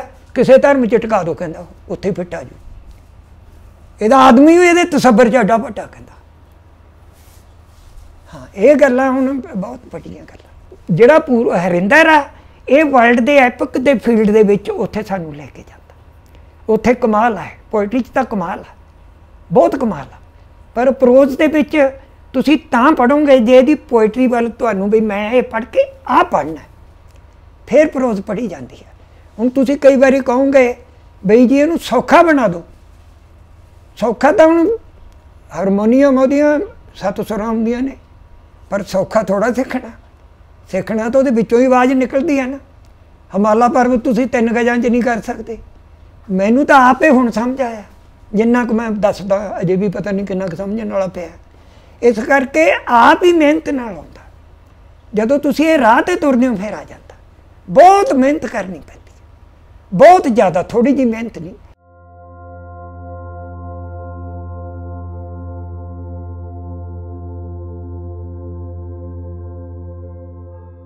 ਮੈਂ 1966 ਚ ਇਹ ਬੜੀ ਜ਼ਰੂਰੀ ਗੱਲ ਧਿਆਨ ਨਾਲ ਸੁਣੋ। 1966 ਚ ਉੱਥੇ ਪੜਾਉਂਦਾ ਸੀਗਾ ਚੁੱਗੇ ਕਲਾ। ਮੈਥ ਟੀਚਰ ਲੱਗਿਆ ਸੀ ਉਦੋਂ ਮੈਂ। ਬੀਏ ਕੀਤੀ ਸੀ। ਬੀਏ ਕਰਕੇ ਮੈਥ ਦੀ ਮੈਨੂੰ ਨੌਕਰੀ ਮਿਲ ਗਈ। ਥੋੜਾ ਜਿਹਾ ਮੈਨੂੰ ਚਾਹ ਵੀ ਸੀ ਨੌਕਰੀ ਦਾ।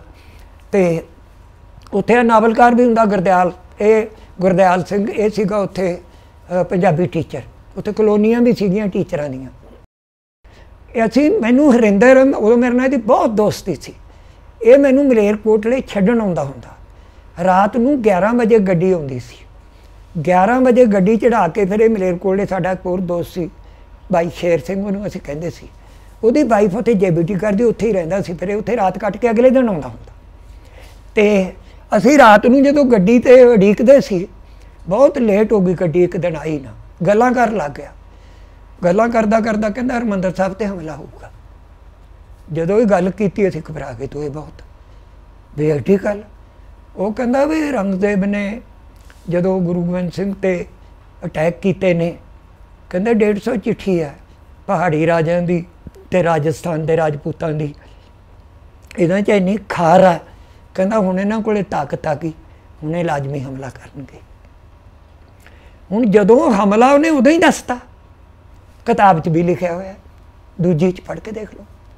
ਜਿੱਥੇ ਗੁਰੂ ਅਰਜਨ ਸਾਹਿਬ ਵਾਲਾ ਹਿੱਸਾ ਹੁੰਦਾ, ਉਹ ਕਹਿੰਦਾ ਵੀ ਢਊਗਾ ਜ਼ਰੂਰ, ਪਰ ਬਣਾਉਣਾ ਸਪਿਰਿਟ ਦੇ ਲੈਵਲ ਤੇ ਹੀ ਰੱਬ ਦਾ ਸ਼ੁਕਰ ਹੈ ਉਹ ਟਿਆ ਹੋਇਆ ਬਣਾਇਆ ਸਿੱਖਾਂ ਨੇ ਆਪ ਹੀ ਹੈ ਬਣਾਇਆ ਠੀਕ ਹੈ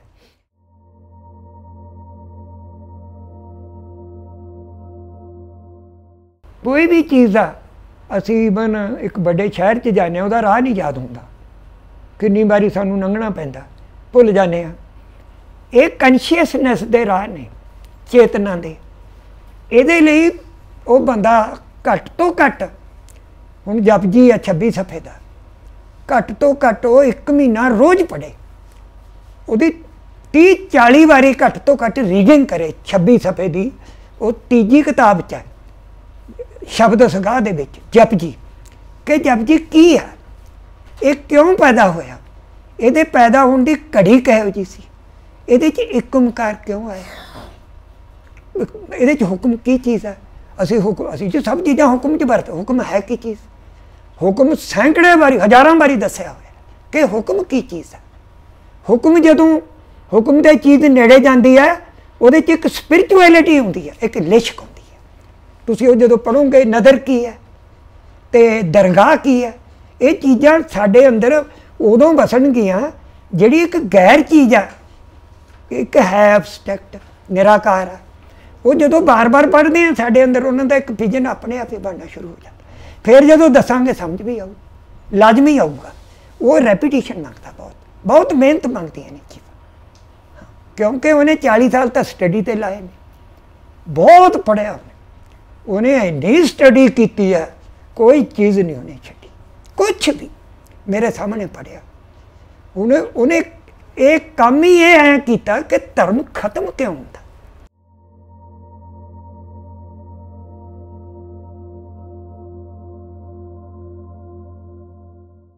ਉਹਦੇ ਵਿੱਚ ਦੇਖੋ ਮੇਰੀ ਗੱਲ ਸੁਣੋ। ਉਹਨੇ ਕੋਈ ਤੁਹਾਨੂੰ ਐ ਫਿਕਸ ਨਹੀਂ ਦੱਸਿਆ ਵੀ ਆਹ ਨਕਸ਼ਾ ਬਣਾ ਲਓ। ਇੱਕ ਬਹੁਤ ਵੱਡੇ ਸਿਸਟਮ ਦੇ ਵਿੱਚ ਉਹਦੀ ਜੀਨੀਅਸ ਚ ਪਿਆ ਹੈ। ਉਹਦੀ ਪ੍ਰਤਿਭਾ ਚ ਪਿਆ। ਸਿੱਖ ਸਿਆਸਤ ਗੁਰੂ ਗ੍ਰੰਥ ਸਾਹਿਬ ਦੇ ਜਿਹੜਾ ਸਪਿਰਚੁਅਲ ਕਨਸਟੀਟਿਊਸ਼ਨ ਉਹਦੇ ਚੋਂ ਪੈਦਾ ਹੁੰਦੀ ਹੈ ਸਪਿਰਚੁਅਲ ਕਨਸਟੀਟਿਊਸ਼ਨ ਚੋਂ।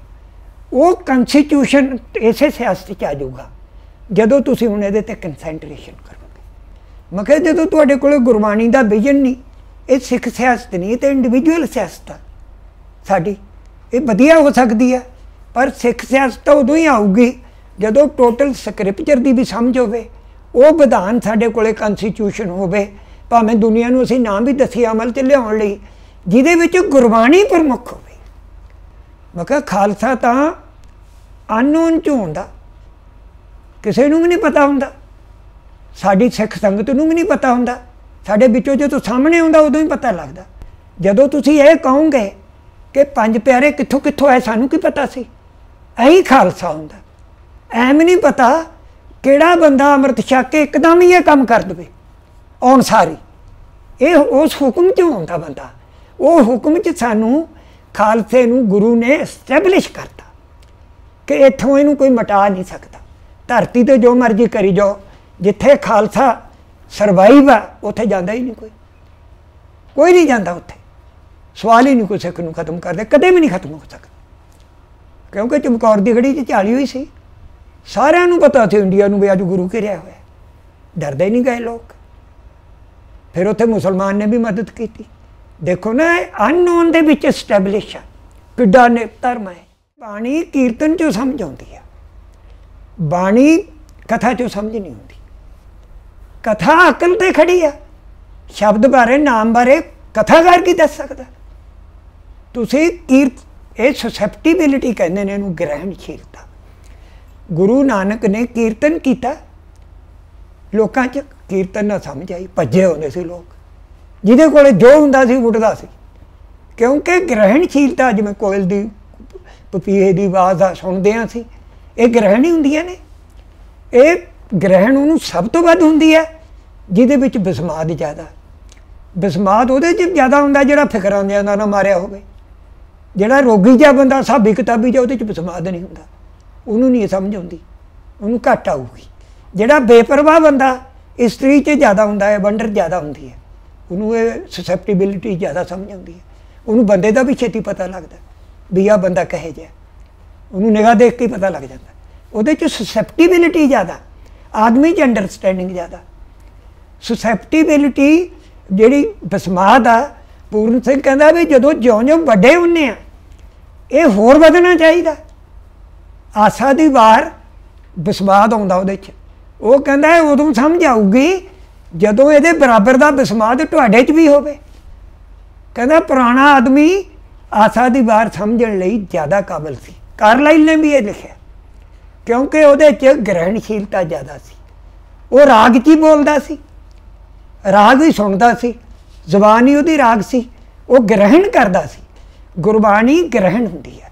ਕੀਰਤਨ ਦੇ ਵੱਡੇ ਵੱਡੇ ਰਾਗੀ ਪੈਦਾ ਹੋਣੇ ਚਾਹੀਦੇ ਨੇ। ਕੀਰਤਨ ਦਾ ਇੱਕ ਦੁਨੀਆ 'ਚ ਸਭ ਤੋਂ ਪਹਿਲਾਂ ਸਾਂਝੀ ਯੂਨੀਵਰਸਿਟੀ ਕੀਰਤਨ ਦੀ ਬਣੀ। ਜਿਹਦੇ 'ਚ ਸਾਡੀ ਆਪਦੀ ਸ਼ੈਲੀ ਹੋਵੇ। ਹੁਣ ਜਿੰਨੇ ਹਿੰਦੂਆਂ ਦੇ ਰਾਗ ਨੇ, ਸਾਰੇ ਦੇ ਸਾਰੇ ਇਹਨਾਂ 'ਚ ਜਿਹੜਾ ਉਹ ਕੁਰਾਨ ਦੇ ਵਿੱਚ ਆਉਂਦਾ, ਉਹ ਕਹਿੰਦਾ ਵੀ ਨਫਸ ਮਾਰਨਾ ਹਿੰਦੂ ਦੇ ਰਾਗਾਂ 'ਚ ਵੀ ਨਫਸ ਹੈ। ਜਦੋਂ ਤੁਸੀਂ ਬਾਹਮਣ ਤੋਂ ਰਾਗ ਸਿੱਖ ਕੇ ਆਉਂਦੇ ਹੋ, ਉਹ ਨਫਸ ਤੁਹਾਡੇ ਅੰਦਰ ਹੈ। ਟੀਚਰ ਦਾ ਟੋਟਾ ਉਹ ਹੈ, ਇਹ ਨਫਸ ਰਹਿਤ ਨੇ। ਅਸੀਂ ਉਹਦੇ ਬੰਦਸ਼ਾਂ ਦੇ ਤੇ ਲਾਈ ਜਾਂਦੇ ਸਾਡੀ ਸ਼ੈਲੀ ਆਪ ਬਣੂਗੀ। ਤੁਸੀਂ ਸਾਡੀ ਰਾਗ ਦੀ ਆਪਦੀ ਸ਼ੈਲੀ ਬਣਾਓ। ਜਿਵੇਂ ਪਾਕਿਸਤਾਨ ਆ, ਭਾਰਤ, ਉਧਰ ਉਹਨਾਂ ਦੀ ਸ਼ੈਲੀ ਹੈ। ਉਹ ਹਿੰਦੂਆਂ ਵਾਂਗੂ ਥੋੜਾ ਹੁੰਦੇ ਨੇ। ਉਹਨਾਂ ਦੀ ਆਪਦੀ ਸ਼ੈਲੀ ਹੈ, ਸਾਡੀ ਕਿਉਂ ਨਹੀਂ? ਹੁਣ ਉਹ ਪੂਰਨ ਸਿੰਘ ਦਾ 9 ਸਫੇ ਦਾ ਆਰਟੀਕਲ ਆ, ਮੈਂ ਪੰਜਾਬੀ ਚ ਉਹਨਾਂ ਨੇ ਮੇਤੋਂ ਕਰਵਾਇਆ। ਉਹ ਅੰਗਰੇਜ਼ੀ ਚ ਹੈ। ਉਹ ਕਹਿੰਦਾ ਜਿਹੜੇ ਬੰਦੇ ਨੂੰ ਰਾਗ ਸਮਝ ਨਹੀਂ ਆਉਂਦਾ, ਉਹ ਤੁਹਾਡੇ ਨਾਲ ਧੋਖਾ ਕਰੂਗਾ, ਚਾਲਬਾਜ਼ੀ ਖੇਡੂ। ਕੋਈ ਵੀ ਬੰਦਾ ਚਾਹੇ, ਉਹਦੇ ਵਿੱਚ ਹੀ ਇਹ ਚੀਜ਼ ਪਈ ਹੈ। ਉਹ ਕਹਿੰਦਾ, ਪਰ ਜਿਹੜਾ ਗੁਰੂ ਨਾਨਕ ਦਾ ਰਾਗ ਆ, ਉੱਥੇ ਤਾਂ ਆ ਰਾਗ ਵੀ ਬੰਦ ਹੋ ਜਾਂਦੇ ਨੇ। ਜਿਵੇਂ ਜਿੱਥੇ ਖਾਲਸਾ ਸਾਜਿਆ ਆ ਬੰਦਾ ਹੀ ਖਤਮ ਹੋ ਜਾਂਦਾ ਉੱਥੇ। ਇਸੇ ਤਰ੍ਹਾਂ ਰਾਗ ਆ ਜਿਹੜਾ, ਆਖਰੀ ਰਾਗ। ਜਿਵੇਂ ਕੀਟਸ ਉਹਦੇ ਚ ਕਹਿੰਦਾ, ਆਪਣੀ ਉਹ ਟੁਨਾ ਸੀਗੀ ਗ੍ਰੀਸ਼ੀਅਨ ਨਾਲ ਸਾਡੇ ਘਰ ਚ 뮤직 ਸੀ, ਮੈਨੂੰ ਅੰਗਰੇਜ਼ੀ ਤਾਂ ਨਹੀਂ ਸੀ ਆਉਂਦੀ ਬਹੁਤੀ। ਮੈਂ ਬੀਏ ਚ ਜਦੋਂ ਪੜ੍ਹੀ ਓਡ ਉਹਦੇ ਚ ਸੀ unheard melodies are sweeter than heard melodies ਜਿਹੜੇ ਸੁਣਦੇ ਰਾਗ ਆ, ਉਹਨਾਂ ਨੂੰ ਅਣਸੁਣਦੇ ਜ਼ਿਆਦਾ ਮਿੱਠੇ ਨੇ। ਅਣਸੁਣਦਾ ਅਨਹਦ ਰਾਗ, ਉਹ ਗੁਰਬਾਣੀ ਦਾ ਰਾਗ ਆ। ਇਹ ਸਾਜ਼ ਤੁਹਾਨੂੰ ਉੱਥੇ ਲੈ ਕੇ ਜਾਂਦੇ ਨੇ। ਗਾਹਾਂ ਫਿਰ ਤੁਸੀਂ ਅਗਲੇ ਹੋਰ ਤੁਹਾਨੂੰ ਖੰਭ ਮਿਲਦੇ ਉਹ 뮤직 ਆਏ ਇਹ ਆਏ ਮੰਜ਼ਲ ਧਰਤੀ ਦੇ ਉੱਤੇ ਸਭ ਤੋਂ ਵੱਡੀ ਰੈਵੀਲੇਸ਼ਨ ਇਸਲਾਮ ਆ ਗੁਰੂਆਂ ਤੋਂ ਪਹਿਲਾਂ। ਈਵਨ ਗੁਰੂ ਨਾਨਕ, ਗੁਰੂ ਗੋਬਿੰਦ ਸਿੰਘ ਨੇ ਜ਼ਫਰਨਾਮੇ 'ਚ ਵੀ ਲਿਖਿਆ ਕਿ ਮੈਂ ਔਰੰਗਜ਼ੇਬ ਤੇਰੇ ਤੇ ਯਕੀਨ ਨਹੀਂ ਕੀਤਾ। ਮੈਂ ਤੇਰੇ ਪਿੱਛੇ ਜਿਹੜੀ ਤੂੰ ਕੁਰਾਨ ਦੀ ਕਸਮ ਖਾਦੀ ਕੁਰਾਨ ਤੇ ਕੀਤਾ। ਆ ਬਸ ਕੌਲੇ ਕੁਰਾਨ ਐਦਸ਼, ਕਿ ਯਜ਼ਦਾ ਬਰੋ ਰਹਿਨੁਮਾ ਐਦਸ਼। ਕਿ ਮੈਂ ਕੁਰਾਨ ਤੇ ਯਕੀਨ ਕੀਤਾ। ਜਦੋਂ ਮੈਂ ਯਕੀਨ ਕੀਤਾ, ਉਹ ਰੱਬ ਮੈਨੂੰ ਕਾਲਪੁਰਖ ਆਪ ਹੀ ਬਚਾਉਣ ਲਈ ਆ ਵੜਿਆ ਇਹ ਲਿਖਿਆ। ਕੁਰਾਨ ਦੇ ਖਿਲਾਫ ਨਹੀਂ ਬੋਲਿਆ। ਉਹ ਕਹਿੰਦਾ, ਮੈਂ ਖੁਦ ਵੀ ਕੁਰਾਨ ਦੀ ਕਸਮ ਨਹੀਂ ਤੋੜ ਸਕਦਾ। ਤੂੰ ਕੁਰਾਨ ਦੀ ਕਸਮ ਤੋੜੀ ਹੈ ਇਹ ਗੁਰੂਆਂ ਤੋਂ ਪਹਿਲਾਂ ਰੈਵੀਲੇਸ਼ਨ ਰੈਵੀਲੇਸ਼ਨ ਇਹ ਮੁਹੰਮਦ ਦੀ ਹੈ ਇਹਨੂੰ ਸੀਲ ਆਫ ਦੀ ਪ੍ਰੋਫਿਟਸ ਕਹਿੰਦੇ ਨੇ। ਪਰ ਗੁਰੂ ਨਾਨਕ 10 ਗੁਰੂ 9 ਹੋਰ ਲੈ ਕੇ ਆਇਆ। ਇਹਦਾ ਮਤਲਬ ਹੈ ਰੈਵੀਲੇਸ਼ਨ ਕਿੱਡੀ ਸੀ ਕਿ 10 ਸਰੀਰ ਚਾਹੀਦੇ ਸੀ। ਇਹ ਫ਼ਰਕ ਆ ਬਸ। ਇਹ ਫ਼ਰਕ ਰੈਵੀਲੇਸ਼ਨ 'ਚ ਵੀ ਆ। ਇਹ ਮੈਨੀਫੈਸਟੇਸ਼ਨ 'ਚ ਵੀ ਆ। ਮੈਨੀਫੈਸਟੇਸ਼ਨ ਤਾਂ ਐਡੀ ਹੈ ਹੀ ਨਹੀਂ ਕਿਤੇ। ਇਹ ਤਾਂ ਗੁਰੂਆਂ ਨੇ ਛੱਡਿਓ ਹੀ ਨਹੀਂ ਕੋਈ ਕਸਰ। ਸਭ ਕੁਝ ਸਾਨੂੰ ਦਿੱਤਾ। ਅਖੀਰ ਉਹਨਾਂ ਨੇ ਪੁੱਤਾਂ ਦੇ ਮਾਣ ਵੀ ਨਹੀਂ ਕੀਤਾ ਗੁਰੂ ਗੋਬਿੰਦ ਸਿੰਘ ਨੇ ਕਿ ਮੇਰਾ ਖਾਲਸਾ। ਖਾਲਸੇ ਨੂੰ ਹੀ ਆਪਦਾ ਪੁੱਤ ਮੰਨਿਆ ਉਹਨਾਂ ਨੇ। ਇਹ ਅਮਲ ਦੀ ਚੀਜ਼ਾਂ, ਇਹ ਵੱਡੀ ਚੀਜ਼ ਆ। ਸਾਡੇ ਕੋਲੇ ਬਾਕੀ ਤੇ ਉਹਨਾਂ ਕੋਲੇ ਬਹੁਤ ਕੁਝ ਹੈ ਕਿਤਾਬਾਂ ਬਹੁਤ ਕਮਾਲ ਦੀਆਂ ਨੇ ਇਸਲਾਮ ਤੇ। ਸੂਫੀ ਬਹੁਤ ਦਰਵੇਸ਼ ਹਜ਼ਾਰਾਂ ਹੀ ਨੇ ਨਾਲੇ। ਐਨੇ ਧਰਮ ਚ ਕਿਸੇ ਚ ਐਡੇ ਸੈਂਟ ਹੀ ਨਹੀਂ ਕਿਸੇ ਨੇ ਪੈਦਾ ਕੀਤੇ। ਤੁਸੀਂ ਪੜ੍ਹ ਕੇ ਹੈਰਾਨ ਹੋ ਜਾਓ ਇੰਨਾ ਸੋਹਣਾ ਲਿਖਿਆ। ਬਹੁਤ ਕਮਾਲ ਲਿਖਿਆ ਸੂਫੀਆਂ ਨੇ। ਪਰ ਸੂਫੀ ਬਹੁਤ ਦਰਵੇਸ਼ ਆ। ਉਹ ਹਰ ਧਰਮ ਨੂੰ ਉਹਨਾਂ ਹੀ ਪਿਆਰ ਕਰਦਾ। ਉਹ ਤਾਂ ਹਿੰਦੂ ਨੂੰ ਵੀ ਉਹਨਾਂ ਹੀ ਕਰਦਾ। ਪਰ ਉਹ ਕਹਿੰਦਾ ਫ਼ਰਕ ਇਹ ਆ, ਹਿੰਦੂ ਪੱਥਰ ਪੂਜਦਾ। ਕਿ ਪੱਥਰ 'ਚ ਕਿੰਨਾ ਗਰਬ ਆਊਗਾ? ਕੋਈ ਇੰਡੀਵਿਜੂਅਲ ਬੰਦਾ ਹੋ ਸਕਦਾ ਪੱਥਰ ਨੂੰ ਟ੍ਰਾਂਸੈਂਡ ਕਰ ਲਵੇ। ਉਹ ਆਈਆਂ ਵੀ ਜਿਵੇਂ ਮਸਰੀ ਦੀ ਦਾਲ 'ਚ ਵੀ ਵਿਟਾਮਿਨਸ ਹੁੰਦੇ ਨੇ ਮੀਟ 'ਚ ਵੀ ਹੁੰਦੇ ਨੇ।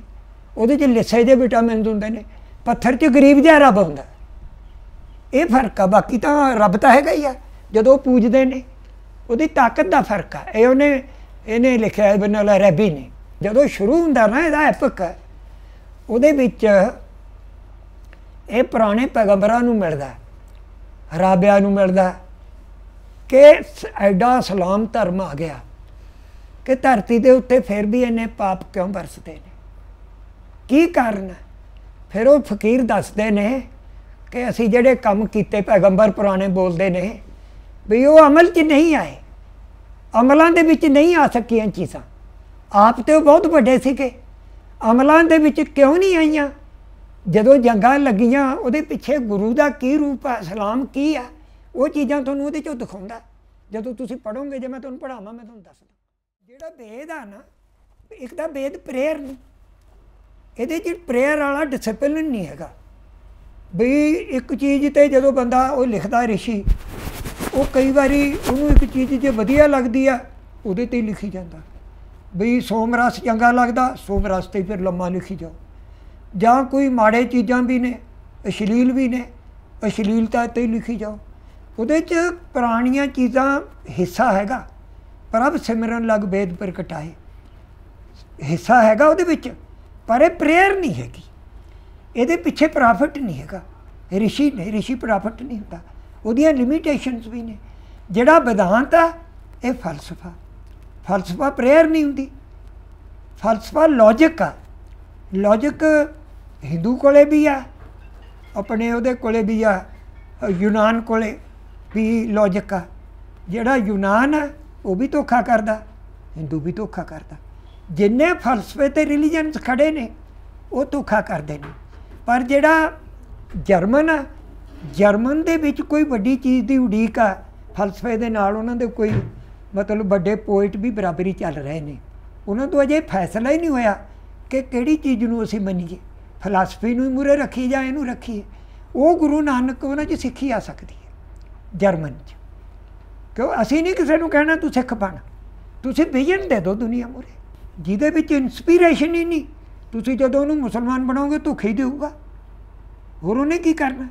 ਸਿੱਖ ਬੰਦਾ ਜੇ ਕੋਈ ਚਾਹੁੰਦਾ ਬਣੇ, ਅਸੀਂ ਨਾ ਉਹਦੇ ਲਾਲਚ ਕਰੋ। ਬਿਲਕੁਲ ਨਾ ਕਰੋ। ਅਸੀਂ ਤੇ ਆਪਣੀ ਲਾਈਫ ਗੁਰੂ ਦਾ ਵਿਜ਼ਨ ਜਿੰਨਾ ਕਾ ਸਾਡੇ ਕੋਲੇ ਅਮਲਾਂ 'ਚ, ਜਿੰਨਾ ਕਿ ਅਸੀਂ ਦੇ ਸਕਦੇ ਉਹ ਦੇਈ ਜਾਓ। ਤੁਹਾਡੇ ਸਾਹਮਣੇ ਆਪ ਹੀ ਬਾਗ ਖਿਡੂਗਾ ਉਹ ਆਪ ਹੀ ਖਿਡਾਉਣ ਵਾਲਾ। ਜਦੋਂ ਅਮਲ ਉਹਦੇ ਤੇ ਪਹੁੰਚ ਜਾਂਦੇ ਨੇ, ਉਹ ਖਿੜ ਜੂਗਾ। ਪੂਰਨ ਸਿੰਘ ਦਾ ਜਿਹੜਾ ਪ੍ਰਕਾਸ਼ਨਾ ਨਾਵਲ ਆ ਨਾ, ਤੁਸੀਂ ਗੱਲਾਂ ਧਿਆਨ ਨਾਲ ਸੁਣੋ। ਉਹ ਪਿੰਡੂ ਲੋਕ ਨੇ, ਬਹੁਤ ਭੋਲੇ ਬੁੱਧਿਜ਼ਮ ਉਹਨਾਂ ਦੇ ਵਿੱਚ, ਰੱਬ ਰੂਪ, ਸੱਚੇ ਬੜੇ ਕਮਾਲ ਦੇ। ਇੰਨਾ ਕਮਾਲ ਨਾਵਲ ਹੈ ਕਿ ਬੁੱਧ ਲਾਈਫ ਕੀ ਆ। ਉਥੇ ਨਾ ਇੱਕ ਹਿੰਦੂ ਆ ਗਿਆ, ਸੰਨਿਆਸੀ ਜਿਹਾ। ਉਹ ਗੱਲਾਂ ਸੁਣਾਉਂਦਾ ਉਹਨਾਂ ਨੂੰ। ਉਹ ਬੜੇ ਭੋਲੇ ਲੋਕ ਨੇ। ਬਈ ਕਥਾਕਾਰ ਸਿਆਣਾ ਆਇਆ ਜਿਵੇਂ ਆ ਪੜਨ ਵਾਲੇ ਬੱਚਿਆਂ ਨੂੰ ਅੱਗੇ ਬੜੇ ਅਸੀਂ ਮਾਣ ਦਿੰਦੇ ਸੀ ਹੁਣ ਵੀ ਦਿੰਦੇ ਆ ਬਈ ਭਾਈ ਇਲਮ ਪਤਾ ਨਹੀਂ ਕਿੱਡੀ ਕੁ ਚੀਜ਼ ਆ ਉਹ ਤਾਂ ਵਿਚਾਰੇ ਬਹੁਤਾ ਹੀ ਵੱਡਾ ਮੰਨਦੇ ਨੇ। ਉਹ ਭਾਈ ਜਦੋਂ ਬੋਲਿਆ ਉਹਨੇ ਕਥਾ ਕੀਤੀ ਲੰਮੀ ਗੱਲ ਕੀਤੀ ਆਪਦੀ ਅ, ਵਿਦਾਂਤ ਵਗੈਰਾ ਦੀ ਹਿੰਦੂ ਸ਼ਾਸਤਰਾਂ ਦੀ। ਉਹ ਜਦੋਂ ਗੱਲਾਂ ਕੀਤੀਆਂ ਕਰਕੇ ਚਲਿਆ ਗਿਆ ਸੁਣੀ ਗਏ ਸਾਰੇ। ਉਹ ਜਦੋਂ ਅਗਲੇ ਦਿਨ ਮਿਲੇ ਕਹਿੰਦੇ ਯਾਰ ਉਹ ਬੰਦਾ ਜਿਹੜਾ ਗੱਲਾਂ ਕਰਦਾ ਸੀ ਬੜੀਆਂ ਸੁਣੇ ਵੀ ਆਪਾਂ ਦਿਲਚਸਪੀ ਸੀ। ਕਹਿੰਦੇ ਪਤਾ ਨਹੀਂ ਕੀ ਗੱਲ, ਮੈਨੂੰ ਤਾਂ ਕਹਿੰਦਾ ਅੱਜ ਬੀਜੀ ਲੱਗੀ ਰਹੀ, ਨੀਂਦ ਹੀ ਨਹੀਂ ਆਈ। ਉਹ ਦੂਜਾ ਕਹਿੰਦਾ, ਯਾਰ ਮੈਨੂੰ ਵੀ ਨਹੀਂ ਆਈ। ਇਹਦਾ ਮਤਲਬ ਸੀ ਉਹਨਾਂ ਦੀ ਆਤਮਾ 'ਚ ਡਿਸਟਰਬ ਕਰਕੇ ਤੁਰ ਗਿਆ। ਉਹਨਾਂ ਦੀ ਜਿਹੜੀ ਉਹ ਚੈਨ ਬੁੱਧ ਰੂਪ ਸੀ, ਉਹਨੂੰ ਡਿਸਟਰਬ ਕੀਤਾ ਹੋਇਆ ਇਹ ਚੀਜ਼ ਕੋਈ ਆਮ ਥੋੜਾ ਜਦੋਂ ਤੁਸੀਂ ਉਹ ਨਾਵਲ ਪੜ੍ਹੋਗੇ, ਤੁਸੀਂ ਵੀ ਸੋਚੋ। ਅੱਛਾ ਦੀ ਕਹਾਣੀ ਹੈ ਇੱਕ ਨਾਵਲ ਆ, ਸੌ ਸਫੇ ਦਾ। ਬਹੁਤ ਕਮਾਲ ਕਮਾਲ ਆ। ਉਹਦੇ ਵਿੱਚ ਦੀ ਥਰੀ ਹੀ ਆ। ਤਿੰਨ ਸਾਲ ਦਾ ਸਮਾਂ ਚੱਲਦਾ ਤਿੰਨ ਸਾਲ ਦੇ ਵਿੱਚ ਉੱਪਰ ਨਾਵਲ ਆ। ਉਹਦੇ ਚ ਇੱਕ ਬੱਚੇ ਪੜ੍ਹਦੇ ਨੇ। ਉਹ ਇੱਕ ਕੁੜੀ ਦਾ ਨਾਂ ਮਾਸ਼ਾ ਵੱਡੀ, ਛੋਟੀ ਦਾ ਨਾਂ ਲਿਡੀਆ। ਉਹਨਾਂ ਦੀ ਮਾਂ ਮਰ ਗਈ, ਬਿਮਾਰੀ ਸੀਗੀ, ਉਹਨੂੰ ਕੈਂਸਰ ਦੀ। ਤੇ ਉਹ ਉਹਨਾਂ ਦਾ ਬਹੁਤ ਬਦਮਾਸ਼ ਆ। ਤੇ ਮਾਮਾ ਉਹਨਾਂ ਦਾ ਬਹੁਤ ਕਮਾਲ ਬਹੁਤ ਇੱਕ ਸੇਂਟ ਆਦਮੀ ਆ ਉਹ, ਚਾਹੇ ਖੂਬੀ ਆ। ਕਿ ਫੈਕਟਰੀ ਚਲਾਉਣ ਦੇ ਵਿੱਚ ਵੀ ਬੰਦਾ ਸੇਂਟ ਕਿਵੇਂ ਹੋ ਸਕਦਾ? ਕਿ ਕਾਰੋਬਾਰ ਦੁਨੀਆਦਾਰ ਕਰਦਾ, ਪਰ ਸੇਂਟ ਤੇ ਉਹ ਕੁੜੀਆਂ ਨੂੰ ਇੱਕ ਟੀਚਰ ਰੱਖ ਦਿੰਦਾ ਉਹ। ਉਹ ਜਦੋਂ ਟੀਚਰ ਪੜਾਉਣ ਆਉਂਦਾ, ਉਹ 올ਡ ਟੈਸਟਾਮੈਂਟ ਪੜਾਉਂਦਾ ਉਹ ਕਹਿੰਦਾ, ਕੋਈ ਨੂਹ ਦਾ ਤੂਫਾਨ ਨਹੀਂ ਸੀ ਆ ਕਿੱਥੋਂ ਆ ਜੂਗਾ ਨੂਹ ਦਾ ਤੂਫਾਨ? ਇਹੋ ਜਿਹੀਆਂ ਪੰਜ ਸੱਤ ਗੱਲਾਂ ਕਰਦਾ। ਉਹ ਬੱਚੇ ਚੀਕਾਂ ਮਾਰਦੇ ਭੱਜ ਜਾਂਦੇ ਵੀ ਤੁਹਾਨੂੰ ਮੰਮੀ ਕੋਲੇ ਲੈ ਜਾਓ। ਉਹ ਕਹਿੰਦਾ, ਕਿਸੇ ਰੂਪ ਦੇ ਵਿੱਚ, ਕਿਸੇ ਵੀ ਰੂਪ ਵਿੱਚ ਭਾਵੇਂ ਕੋਈ ਹੋਵੇ, ਜਦੋਂ ਤੁਸੀਂ ਅੰਦਰਲੇ ਸਿਸਟਮ ਨੂੰ ਭੰਗ ਕਰਦੇ ਹੋ, ਉਹਦੇ ਚ ਡਿਸਟਰਬੈਂਸ ਪੈਦਾ ਹੁੰਦੀ ਇਹ ਟੀਚਰ ਹੀ ਭੰਗ ਕਰਦੇ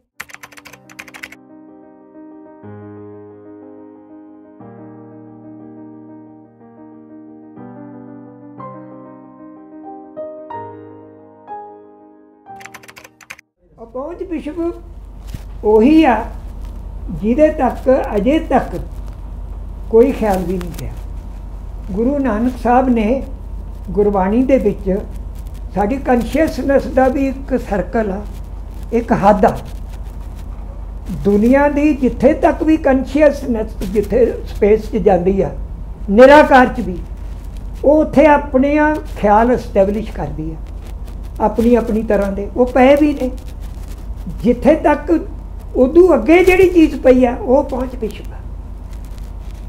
ਜਿੱਥੇ ਤੱਕ ਵੀ ਦੀਨ ਪਹੁੰਚੇ, ਉਦੋਂ ਅਗਲਾ ਜਿਹੜਾ ਵਿਜਨ ਆ ਉਹ ਪਹੁੰਚ ਵਿਸ਼ਵ ਆ। ਉਹ ਹੈਗਾ ਇਹਦੇ 'ਚ। ਇਹਦੇ ਐਪਕ 'ਚ ਕਮਾਲ ਆ।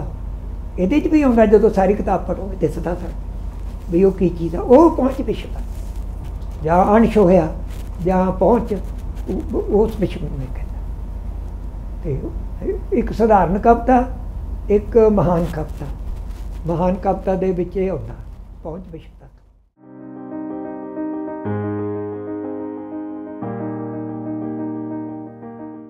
ਹਰਿੰਦਰ ਮਹਿਬੂਬ ਦਾ ਜਿਹੜਾ ਵਿਜਨ ਆ ਉਹ ਮੌਲਾਨਾ ਰੂਮੀ ਵਾਲਾ ਐਪੀਕਲ ਵਿਜਨ ਇੱਕ ਟੋਟਲ ਚੀਜ਼ ਨੂੰ ਨਾਲ ਲੈ ਕੇ ਤੁਰਨਾ।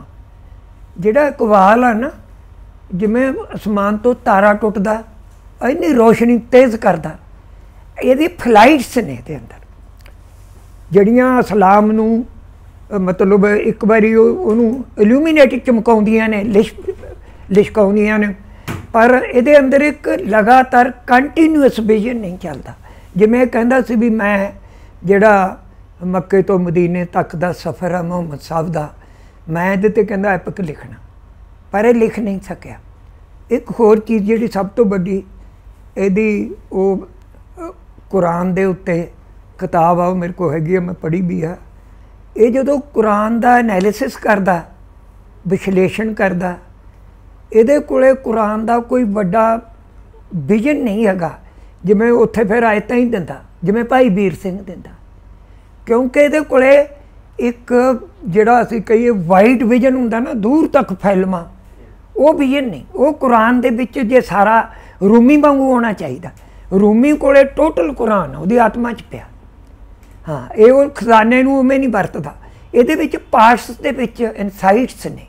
ਬਹੁਤ ਤੇਜ਼ ਜਿਹੜੀਆਂ ਤਿੱਖੀਆਂ, ਜਿਹਦੇ ਨਾਲ ਸਲਾਮ ਨੂੰ ਬਿਊਟੀਫਾਈ ਕਰਦਾ।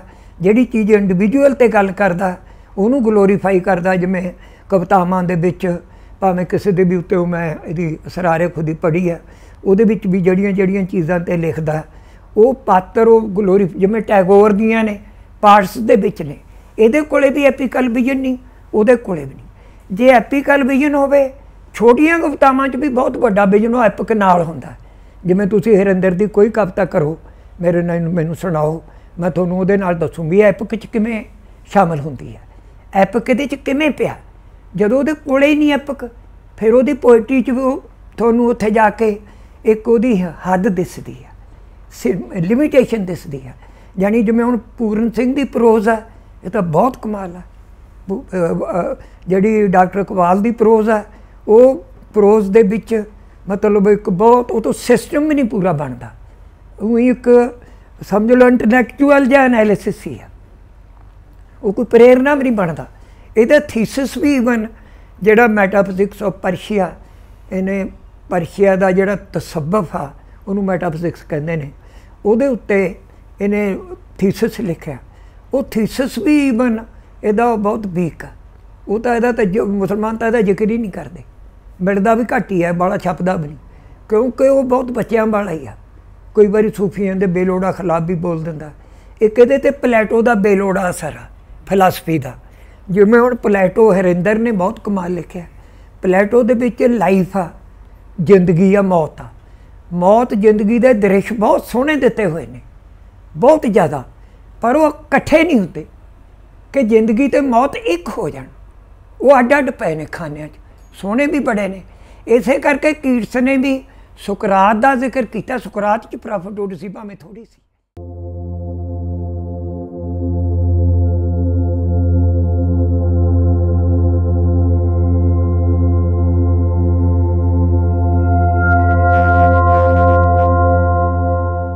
ਸ਼ਹੀਦੀ ਅਰਦਾਸ ਹੀ ਪੜ੍ਹ ਲਓ।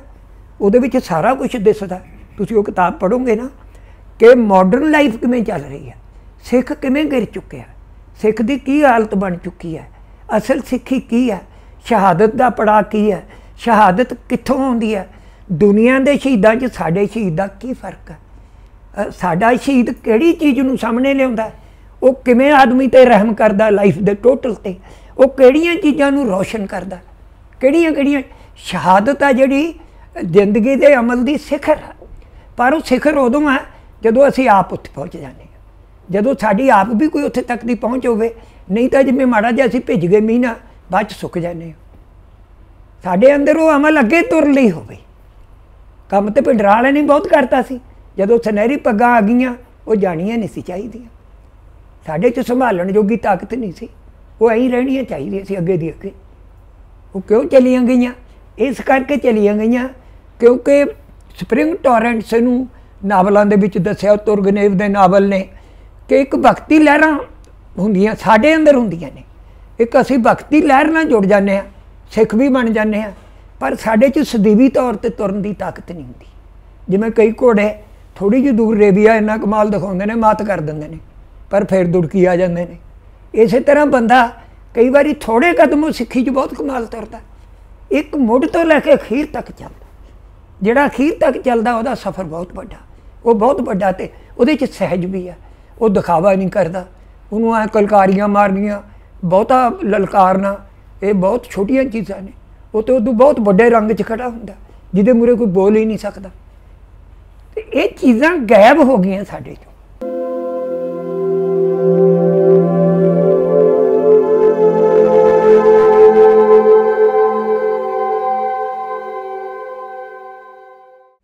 ਜਿਵੇਂ ਉਹਨੇ ਲਿਖਿਆ, ਵਿਕਟਰ ਹੀਗੋ ਨੇ ਉਹ ਕਹਿੰਦਾ ਵੀ ਜਿਹੜੀ ਜੀਨੀਅਸ ਆ, ਇਹ ਦੁਸ਼ਮਣ ਨੂੰ ਸਦਾ ਦਿੰਦੀ ਆ।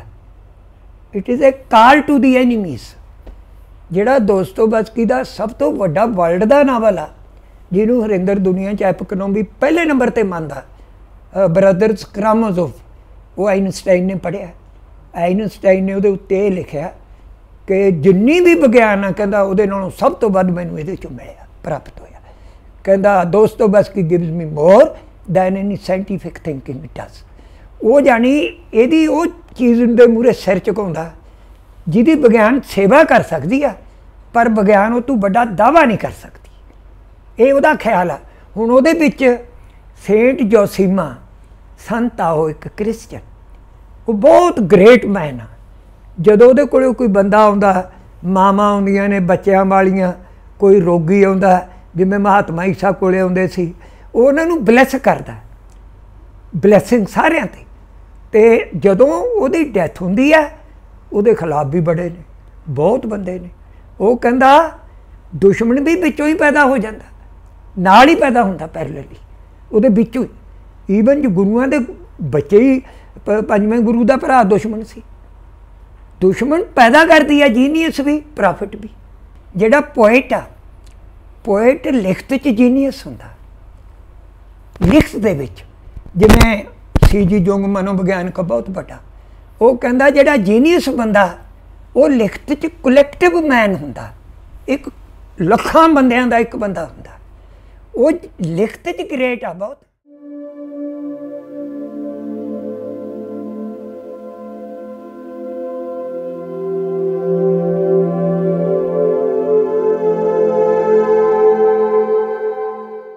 ਬਈ ਕੁਦਰਤ 'ਚ ਹਰ ਚੀਜ਼ ਸ਼ਾਮਲ ਆ। ਤੁਹਾਨੂੰ ਹੱਕ ਆ, ਤੁਸੀਂ ਰੌਲਾ ਵੀ ਪਾਓ, ਤੁਸੀਂ ਧੂੜ ਵੀ ਉਠਾਓ, ਉਹ ਵੀ ਸ਼ਾਮਲ ਆ। ਉਹਦੇ 'ਚ ਲਿਖਣ ਵਾਲਿਆਂ ਦੇ ਖਿਆਲ ਵੀ ਸ਼ਾਮਲ ਨੇ। ਕੋਈ ਨਾਸਤਕ ਆ, ਕੋਈ ਆਸਤਕ ਆ, ਕੋਈ ਫਲਸਫੀ ਵਾਲਾ, ਕੋਈ ਫਲਸਫੀ ਦੇ ਵਿੱਚ ਮਤਲਬ ਇੱਕ ਬੇਬਿਰਾਨੀ ਪੈਦਾ ਕਰਦਾ, ਸਭ ਕੁਝ ਕੁਦਰਤ 'ਚ ਹੈ ਪਰ ਕੁਦਰਤ ਦੇ ਦੇ ਅੰਦਰ ਜਿਵੇਂ ਸਾਡਾ ਸਰੀਰ ਹੈ ਇਹਦੇ 'ਚ ਕੁਝ ਪਿਓਰ ਚੀਜ਼ਾਂ ਪਈਆਂ ਨੇ। ਕੁਦਰਤ ਦੇ ਵਿੱਚ ਇੱਕ ਖਾਲਸ ਰੂਪ ਆ, ਜਿਹੜਾ ਜਿਵੇਂ ਮਾਂ ਦਾ ਗਰਭ ਦੇ ਸਥਾਨ ਉਹ ਸਭ ਤੋਂ ਰਿਜ਼ਰਵ ਆ। ਇਸੇ ਤਰ੍ਹਾਂ ਕੁਦਰਤ ਦਾ ਕੋਈ ਇੱਕ ਖਾਲਸ ਗਰਭ ਆ, ਜਿਹੜਾ ਗੁਰੂ ਨਾਨਕ ਉਹਨੂੰ ਅਸ਼ੋ ਮੰਨਦਾ ਇਹਨਾਂ ਚੀਜ਼ਾਂ ਤੋਂ। ਉਹਦੇ ਵਿੱਚ ਹੈਗੀਆਂ ਵੀ ਨੇ, ਪਰ ਉਹ ਆਪ ਇਹਨਾਂ ਤੋਂ ਨਿਰਲੇਪ ਹੈ ਹਾਂ, ਜਿਵੇਂ ਜੈਸੇ ਜਲ ਤੇ ਕਮਲ ਨਿਰਾਲਮ, ਇਹ ਕੁਦਰਤ 'ਚ ਵੀ ਇਹੀ ਚੀਜ਼ ਹੈ ਪਰ ਕੁਦਰਤ, ਖਾਲਸ ਕੁਦਰਤ ਉਹ ਪਿਓਰ ਚੀਜ਼ ਹੈ ਜਿਹਦੇ ਵਿੱਚ ਉਹਨੂੰ, ਮੇਰਾ ਖਿਆਲ ਪਹਿਲਾਂ ਕੀ ਹੈ ਉਹਦੇ ਵਿੱਚ ਹੈਗਾ ਜੇਤੂ ਤਰਕ। ਜੇਤੂ ਤਰਕ ਦਾ ਮਤਲਬ ਇਹ ਹੈ, ਗੁਰੂ ਨਾਨਕ ਨੇ ਜੇ ਕਹਤਾ ਉਸ ਸੂਰ ਉਸ ਗਾਏ। ਕਿਸੇ ਨੇ ਕਿੰਤੂ ਤਾਂ ਨਹੀਂ ਕੀਤਾ, ਕਿਸੇ ਨੇ ਤਾਂ ਨਹੀਂ ਕਿਹਾ ਕਿਵੇਂ ਹੋ ਜਾਊਗਾ? ਜੇਤੂ ਤਰਕ ਦਾ ਮਤਲਬ ਹੈ, ਜੋ ਕੁਝ ਉਹਨੇ ਕਹਤਾ, ਦਲੀਲ ਵੀ ਜਿੱਤ ਵਾਲੀ ਨਾਲ ਹੀ ਸੀ। ਜਿੱਤ ਸੀ ਉਹਦੇ ਨਾਲ, ਲਫ਼ਜ਼ ਦੇ ਨਾਲ। ਕਿ ਜੋ ਜਿੱਥੇ ਵੀ ਉਹ ਗਿਆ, ਭਾਵੇਂ ਵਿੱਚ ਕਿਸੇ ਚੀਜ਼ ਦੇ ਸ਼ਾਮਲ ਹੋ ਗਿਆ, ਭਾਵੇਂ ਉਹਦਾ ਸਤਿਕਾਰ ਵੀ ਕਰਤਾ, ਪਰ ਉਹਦੀ ਆਪਦੀ ਜਿੱਤ ਉਹਦੇ ਨਾਲ ਉਹ ਉਦੋਂ ਅੱਗੇ ਆ। ਉਹ ਕਿਸੇ ਦੀ ਗ੍ਰਿਫਤ 'ਚ ਨਹੀਂ ਹੁੰਦਾ। ਉਹਦੇ ਨਾਲ ਉਹਨੂੰ ਦਲੀਲ ਦੇਣ ਦੀ ਲੋੜ ਨਹੀਂ। ਇਹਦਾ ਮਤਲਬ ਇਹ ਹੈ ਕਿ ਤੁਹਾਨੂੰ ਇਹ ਨਹੀਂ ਦੱਸਣ ਦੀ ਲੋੜ ਵੀ ਦੇਖੋ ਗੁਰੂ ਨਾਨਕ ਆ ਐ ਸੱਚ ਕਰਤਾ ਉਹ ਸੱਚ ਹੀ ਹੈ। ਇਹਦਾ ਇਹ ਮਤਲਬ ਹੈ ਉੱਚੀ ਸੁਰਤ ਹੈ ਇੱਕ। ਉੱਚੀ ਸੁਰਤ, ਗੁਰਮੁਖ ਸੁਰਤ ਹੈ। ਜਿਹੜੀ ਹਰ ਚੀਜ਼ ਨੂੰ ਦੇਖਦੀ ਹੈ, ਹਰ ਚੀਜ਼ ਨੂੰ ਕਿ ਉਹਦੀ ਉਦੋਂ ਉੱਚੀ ਹੋਰ ਕੋਈ ਨਹੀਂ। ਉਹ ਗੁਰੂ ਨਾਨਕ ਤੇ ਜਿਹੜੀ ਸਿਖਰ ਉਹਦੇ ਵਿੱਚੋਂ ਹਰ ਚੀਜ਼ ਦਾ ਬਤਨ ਦਿਸਦਾ। ਬਤਨ ਸਰੀਰ ਦਾ ਹੀ ਨਹੀਂ, ਆਤਮਾ ਦਾ ਵੀ। ਕਿ ਉਹ ਕਿੰਨਾ ਉਹਦੇ ਚ ਕਮਾਈ ਹੈ। ਜਿਵੇਂ ਗੁਰੂ ਨਾਨਕ ਦਾ ਸੱਚ ਹੈ ਜਿਹੜਾ, ਇਹ ਸੱਚ ਇੱਕ ਤੁਹਾਡੇ ਅੰਦਰ ਸ਼ੀਸ਼ਾ ਵੀ ਹੈ, ਵਿਜਨ ਵੀ ਹੈ, ਜਿਹੜਾ ਚੀਜ਼ਾਂ ਨੂੰ ਦੇਖਦਾ ਤੇ ਜਦੋਂ ਤੁਸੀਂ ਉਹ ਦੇਖਦੇ ਹੋ ਚੀਜ਼ਾਂ, ਹਰ ਚੀਜ਼ ਤੁਹਾਨੂੰ ਦਿਸੂਗੀ ਵੀ ਆ ਬੰਦਾ ਵਫਾਦਾਰ ਆ ਆ ਖਾਲਸਾ, ਜਾਂ ਮਤਲਬ ਆ ਖਿਆਲ ਕਿੱਡਾ ਕਾ ਆ ਖਿਆਲ ਸਾਡੇ ਚ ਰਲਣ ਦੇ ਕਾਬਲ ਹੈ ਜਾਂ ਨਹੀਂ ਕਾਬਲ, ਇਹਨੂੰ ਕੀ ਥਾਂ ਦੇਣੀ ਹੈ ਥਾਂ ਜੋ ਡਿਵਾਈਨ ਲਾ ਦੇ ਵਿੱਚ ਉਹਦੀ ਬਣਦੀ ਹੈ ਉਹੀ ਦੇਣੀ ਹੈ ਉਹਦੇ ਨਾਲ ਰਹਿਤ ਵੀ ਨਹੀਂ ਕਰਨੀ। ਇਹ ਉੱਚੀ ਸੁਰਤ ਹੈ ਕਿ ਤੁਸੀਂ ਹਿੰਦੂਆਂ ਦੇ ਚਲੇ ਗਏ, ਉਹ ਸਾਰਾ ਕੁਝ ਉਹਨਾਂ ਦਾ ਮੰਦਰਾਂ 'ਚ ਫਿਰ ਵੀ ਲੋ ਕੁਝ ਨਹੀਂ ਫ਼ਰਕ ਪੈਂਦਾ। ਮੱਥਾ ਵੀ ਟੇਕ ਦੋ। ਪਰ ਤੁਹਾਡੇ ਅੰਦਰ ਇੱਕ ਕੀਮਤੀ ਚੀਜ਼ ਹੈ ਜਿਹੜੀ ਉਹਦਾ ਸਤਿਕਾਰ ਕਰ ਰਹੀ ਹੈ ਉਹ ਇਹਦੀ ਪਹੁੰਚ 'ਚ, ਇਹਦੀ ਪਕੜ ਤੋਂ ਬਾਹਰ ਹੈ ਜਾਣਦਾ ਨਹੀਂ ਤੇਰਾ ਚਾਹੀਦਾ, ਚਲੇ ਜਾਣਾ ਚਾਹੀਦਾ। ਮੱਥਾ ਵੀ ਟੇਕ ਦੋ, ਪਰ ਤੁਹਾਡੇ ਅੰਦਰ ਉੱਚਾ ਸਿੱਖ ਹੁੰਦਾ ਉਹ ਇਸ ਮਾਰ ਮਾਰਚੀ ਨਾ ਆਵੇ, ਇਸ ਪਕੜ ਕੀ ਨਾ ਆਵੇ। ਕੋਈ ਮੁੰਡਾ ਉਹਨੂੰ ਪਰਿਵਾਰ ਨਾਲ ਕੋਈ ਤੋੜਨਾ ਚਾਹੇ, ਉਹ ਜਿੰਨਾ ਮਰਜ਼ੀ ਜ਼ੋਰ ਲਾ ਲਵੇ, ਨਹੀਂ ਟੁੱਟਦਾ, ਹੁਣ ਮੈਂ ਤੁਹਾਨੂੰ ਮਿਸਾਲ ਦਿੰਨਾ, ਪੂਰਨ ਸਿੰਘ 8ਵੀਂ ਚ ਪੜਦਾ ਸੀ, ਇੱਕ ਸਾਈਆਂ ਦਾ ਮੁੰਡਾ ਇਹਦੇ ਨਾਲ ਪੜਦਾ ਸੀ। ਉਹਨੂੰ ਇਹ ਪਿਆਰ ਬਹੁਤ ਕਰਦਾ ਸੀ, ਜਿਹਨੂੰ ਪਿਆਰ ਕਰਦਾ ਸੀ, ਕਹਿੰਦਾ ਉਹ ਜਿਹਾ ਬੰਦਾ ਹੋ ਜਾਣਾ ਚਾਹੀਦਾ। ਕਿਸੇ ਨੂੰ ਵੀ ਜੇ ਗੁਰੂ ਨੂੰ ਪਿਆਰ ਕਰੋ ਤਾਂ ਗੁਰੂ ਵਰਗਾ ਹੀ ਹੋ ਜਾਓ, ਨਹੀਂ ਪਿਆਰ ਦੀ ਕੋਈ ਤੁਹਾਡੀ ਸਬੂਤ ਨਹੀਂ ਹੈਗਾ ਪੱਕਾ। ਉਹ ਮੁੰਡੇ ਦੇ ਦੰਦ ਉੱਚੇ ਸੀ ਥੋੜੇ ਜਿਹਾ ਦੰਦੇ ਦੇ ਉੱਚੇ ਨਹੀਂ, ਸੋਹਣਾ ਬਹੁਤ ਸੀ। ਇਹ ਐਂ ਦੰਦ ਉੱਚੇ ਜੇ ਕਰਕੇ ਬੁੱਲ ਰੱਖਿਆ ਕਰੇ। ਉਹ ਆਪਦੀ ਮਾਂ ਇਹਦੀ ਸੀ ਜਿਹੜੀ ਉਹ ਬਹੁਤ ਉੱਚੀ ਤੀਮੀ ਸੀ ਪਰਮਾ ਦੇਵੀ ਸੀ। ਉਹ ਜਿਹੜੀ ਪਰਮਾ ਦੇਵੀ ਸੀ, ਉਹ ਕਹਿੰਦੀ, ਪੁੱਤ, ਕਹਿੰਦੀ ਤੂੰ ਐਡਾ ਖੂਬਸੂਰਤ ਮੁੰਡਾ, ਉਹ ਕਾਲੂਆ ਜਿਹਾ ਮੁੰਡਾ, ਉਹ ਮਾਸਟਰ ਦਾ ਮੁੰਡਾ ਸੀ ਸਾਈ ਸੀਗੇ ਉਹ। ਉਹ ਕਾਲੂਆ ਜਿਹਾ ਮੁੰਡਾ, ਕਹਿੰਦੀ ਤੂੰ ਉਹਦੀ ਨਕਲ ਕਰਦਾ ਹੈ। ਉਹ ਤੇ ਤੇਰੇ ਵਰਗਾ ਵੀ ਨਹੀਂ। ਉਹ ਕਹਿੰਦਾ, ਮਾਂ ਤੂੰ ਮੈਨੂੰ ਪਿਆਰ ਕਰਦੀ ਹੈ ਤੂੰ ਮੇਰੇ ਵਰਗੀ ਹੈ ਮੈਂ ਉਹਨੂੰ ਪਿਆਰ ਕਰਦਾ, ਫਿਰ ਮੈਂ ਉਹਦੇ ਵਰਗਾ ਹੀ ਚਾਹੀਦਾ। ਉਹਦਾ ਇਹ ਸੁਭਾਅ ਸੀਗਾ। ਫਿਰ ਉਹ ਇੱਕ ਵਾਰੀ ਮਾਂ ਡਰ ਗਈ। ਉਹ ਸਾਈ ਬਣਾਉਂਦੇ ਸੀਗੇ ਲੋਕਾਂ ਨੂੰ। ਉਹ ਕਹਿੰਦਾ ਬਈ ਤੂੰ ਪੁੱਤ ਜਾਣਾ ਉੱਥੇ, ਕਿਤੇ ਸਾਈ ਹੋਈ ਨਾ ਬਣ ਜੀ ਤੂੰ। ਉਹ ਕਹਿੰਦਾ, ਮੈਂ ਜਦੋਂ ਜਾਣਾ ਨਾ ਉੱਥੇ ਉਹਨਾਂ ਦੇ ਕੋਲੇ, ਕਹਿੰਦਾ ਮੈਨੂੰ ਮਹਾਤਮਾ ਈਸਾ ਦੇ ਕੇਸ ਲੰਮੇ ਬਹੁਤ ਸੋਹਣੇ ਲੱਗਦੇ ਨੇ। ਕਹਿੰਦਾ ਮੈਨੂੰ ਬਹੁਤ ਉਹ ਕੋਈ ਵਰਜਨ ਇਸਤਰੀ ਵਰਗਾ ਲੱਗਦਾ, ਜਿਹੜੀ ਕੁਆਰੀ ਇਸਤਰੀ ਹੁੰਦੀ ਹੈ। ਉਹਦੇ ਬਾਰੇ ਇੰਨਾ ਪਵਿੱਤਰ ਲੱਗਦਾ। ਪਰ ਕਹਿੰਦਾ, ਮਦਰ, ਇਹ ਨਾ ਸੋਚ ਲਈ, ਮੈਂ ਸਾਈ ਬਣ ਜਾਊਂਗਾ। ਇਹ ਤਾਂ ਤੂੰ ਕਦੇ ਸੋਚੀ ਵੀ ਨਾ ਕਹਿੰਦਾ। ਕਹਿੰਦਾ, ਇਸ ਮੈਂ ਪਹੁੰਚ ਚ ਨਹੀਂ ਹੈਗਾ ਕਿਸੇ ਦੀ ਚ ਕਿ ਮੈਨੂੰ ਕੋਈ ਆਪਦਾ ਬਣਾ ਲੇ, ਉਸ ਗੁਰੂ ਨੂੰ ਤੋੜ ਕੇ। ਇਹ ਉਹਦੀ ਛੋਟੇ ਹੁੰਦੇ ਦੀ ਗੱਲ ਸੀ। ਫਿਰ ਉਹਦੇ ਮੂਰੇ ਇੱਕ ਵਾਰੀ ਨਾਟਕ ਆਇਆ। ਨਲ ਦਮਯੰਤੀ ਦਾ ਨਾਟਕ ਖੇਡਿਆ। ਛੋਟਾ ਜਿਹਾ ਸੀਗਾ। ਉਹ ਦਮਯੰਤੀ ਕੋਈ ਮੁੰਡਾ ਬਣ ਗਿਆ। ਉਹ ਹੁਣ ਇਹ ਤਾਂ ਪੜਦਾ ਸੀ ਐਡਾ ਇਹਦੇ ਅੰਦਰ ਪੋਇਟ ਸੀ ਬਹੁਤ ਵੱਡਾ। ਇਹ ਜਦੋਂ ਉਹਨੂੰ ਦੇਖਿਆ, ਇਹਨੇ ਦਮਯੰਤੀ ਆਪਦੇ ਵਰਗੀ ਸੋਚ ਲਈ ਵੀ ਉਹ ਆਦਮ ਦਮਯੰਤੀ। ਉਹ ਸੀ ਇੱਕ ਮੁੰਡਾ ਬਣਿਆ, ਦਮਯੰਤੀ। ਇਹ ਜਦੋਂ ਉਹਨੇ ਦੇਖੀ, ਉਹਨੇ ਆਪਦੇ ਵਿਜਨ ਚੋਂ ਦਮਯੰਤੀ ਬਣਾ ਲਈ ਜਾਏ ਜੋ ਆਪ ਪੋਇਟ ਸੀ। ਬੱਚਾ ਸੀ ਭਾਵੇਂ। ਉਹ ਕਹ, ਇਹ ਤਾਂ ਬਿਮਾਰ ਹੋ ਗਿਆ। ਕਹਿੰਦਾ, ਮੈਨੂੰ ਦਮਯੰਤੀ ਕੋਲੇ ਲੈ ਕੇ ਚੱਲੋ। ਮੈਨੂੰ ਦਿਖਾਓ ਉਹਨੂੰ। ਉਹ ਭਾਈ, ਉਹਦਾ ਮਾਮਾ ਆਇਆ, ਉਹ ਲੈ ਗਏ। ਉਹਦੀ ਮਾਂ ਕਹਿੰਦੀ ਸੀ, ਪੂਰਨ ਸਿੰਘ ਦੀ, ਕਹਿੰਦੀ ਇਹਨੇ ਨਹੀਂ ਹਟਣਾ। ਉਹ ਮੁੰਡੇ ਨੂੰ ਅਸਲ ਰੂਪ 'ਚ ਦਿਖਾਓ ਇਹਨੂੰ, ਵੀ ਦਮ, ਫਿਰ ਦਮਯੰਤੀ ਬਣਦਾ ਦਿਖਾਇਓ। ਉਹ ਜਦੋਂ ਮੁੰਡੇ ਤੋਂ ਦਮਯੰਤੀ ਬਣਿਆ, ਜਦ ਹੀ ਕਹਿੰਦਾ ਮੈਨੂੰ ਲੈ ਚਲੋ, ਮੈਂ ਨਹੀਂ ਦੇਖਣਾ। ਉਹ ਪਖੰਡ ਤੋਂ ਇੰਨਾ ਭੱਜਦਾ ਸੀ। ਲਿਵ ਹੁੰਦੀ ਹੈ ਕਿ ਅਸੀਂ ਕਿਸੇ ਚੀਜ਼ ਨਾਲ ਜੁੜੇ, ਜਿਵੇਂ ਇਹਦੀ ਲਿਵ ਜੁੜੀ ਹੋਈ ਹੈ। ਕਿ ਗੁਰੂ ਗੁਰੂ ਕੰਟੈਂਪਲੇਸ਼ਨ ਹੁੰਦੀ ਹੈ।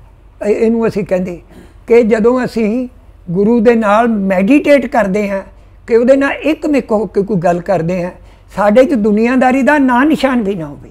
ਜੇ ਦੁਨੀਆਦਾਰੀ ਥੋੜੀ ਵਾਲੀ ਹੈ ਤਾਂ ਗੁਰੂ ਲਿਵ ਉਹਨੀ ਕੀ ਸਾਡੇ ਅੰਦਰ ਆਊਗੀ। ਗੁਰੂ ਲਿਵ ਤਾਂ ਸਧਾਰਨ ਬੰਦੇ 'ਚ ਵੀ ਹੋ ਸਕਦੀ ਹੈ, ਜਿਹੜਾ ਮਤਲਬ ਗੁਰੂ 'ਚ ਸ਼ਰਧਾ ਰੱਖਦਾ, ਕਿਸੇ ਹੋਰ ਚੀਜ਼ ਨੂੰ ਨਹੀਂ ਮੰਨਦਾ, ਭਾਵੇਂ ਇੱਜ਼ਤ ਵੀ ਕਰੇ, ਪਰ ਉਹਦੇ ਅੰਦਰ ਗੁਰੂ ਦੀ ਵੱਡੀ ਥਾਂ ਲਿਵ ਹੁੰਦੀ ਆ, ਦੇਖਣਾ ਆਪਾਂ ਜਿਵੇਂ ਲਿਵ ਵਰਤ ਦੇਵੇ ਦੀ ਲਿਵ ਲੱਗ ਗਈ। ਇਹੀ ਚੀਜ਼ ਲਿਵ ਆ।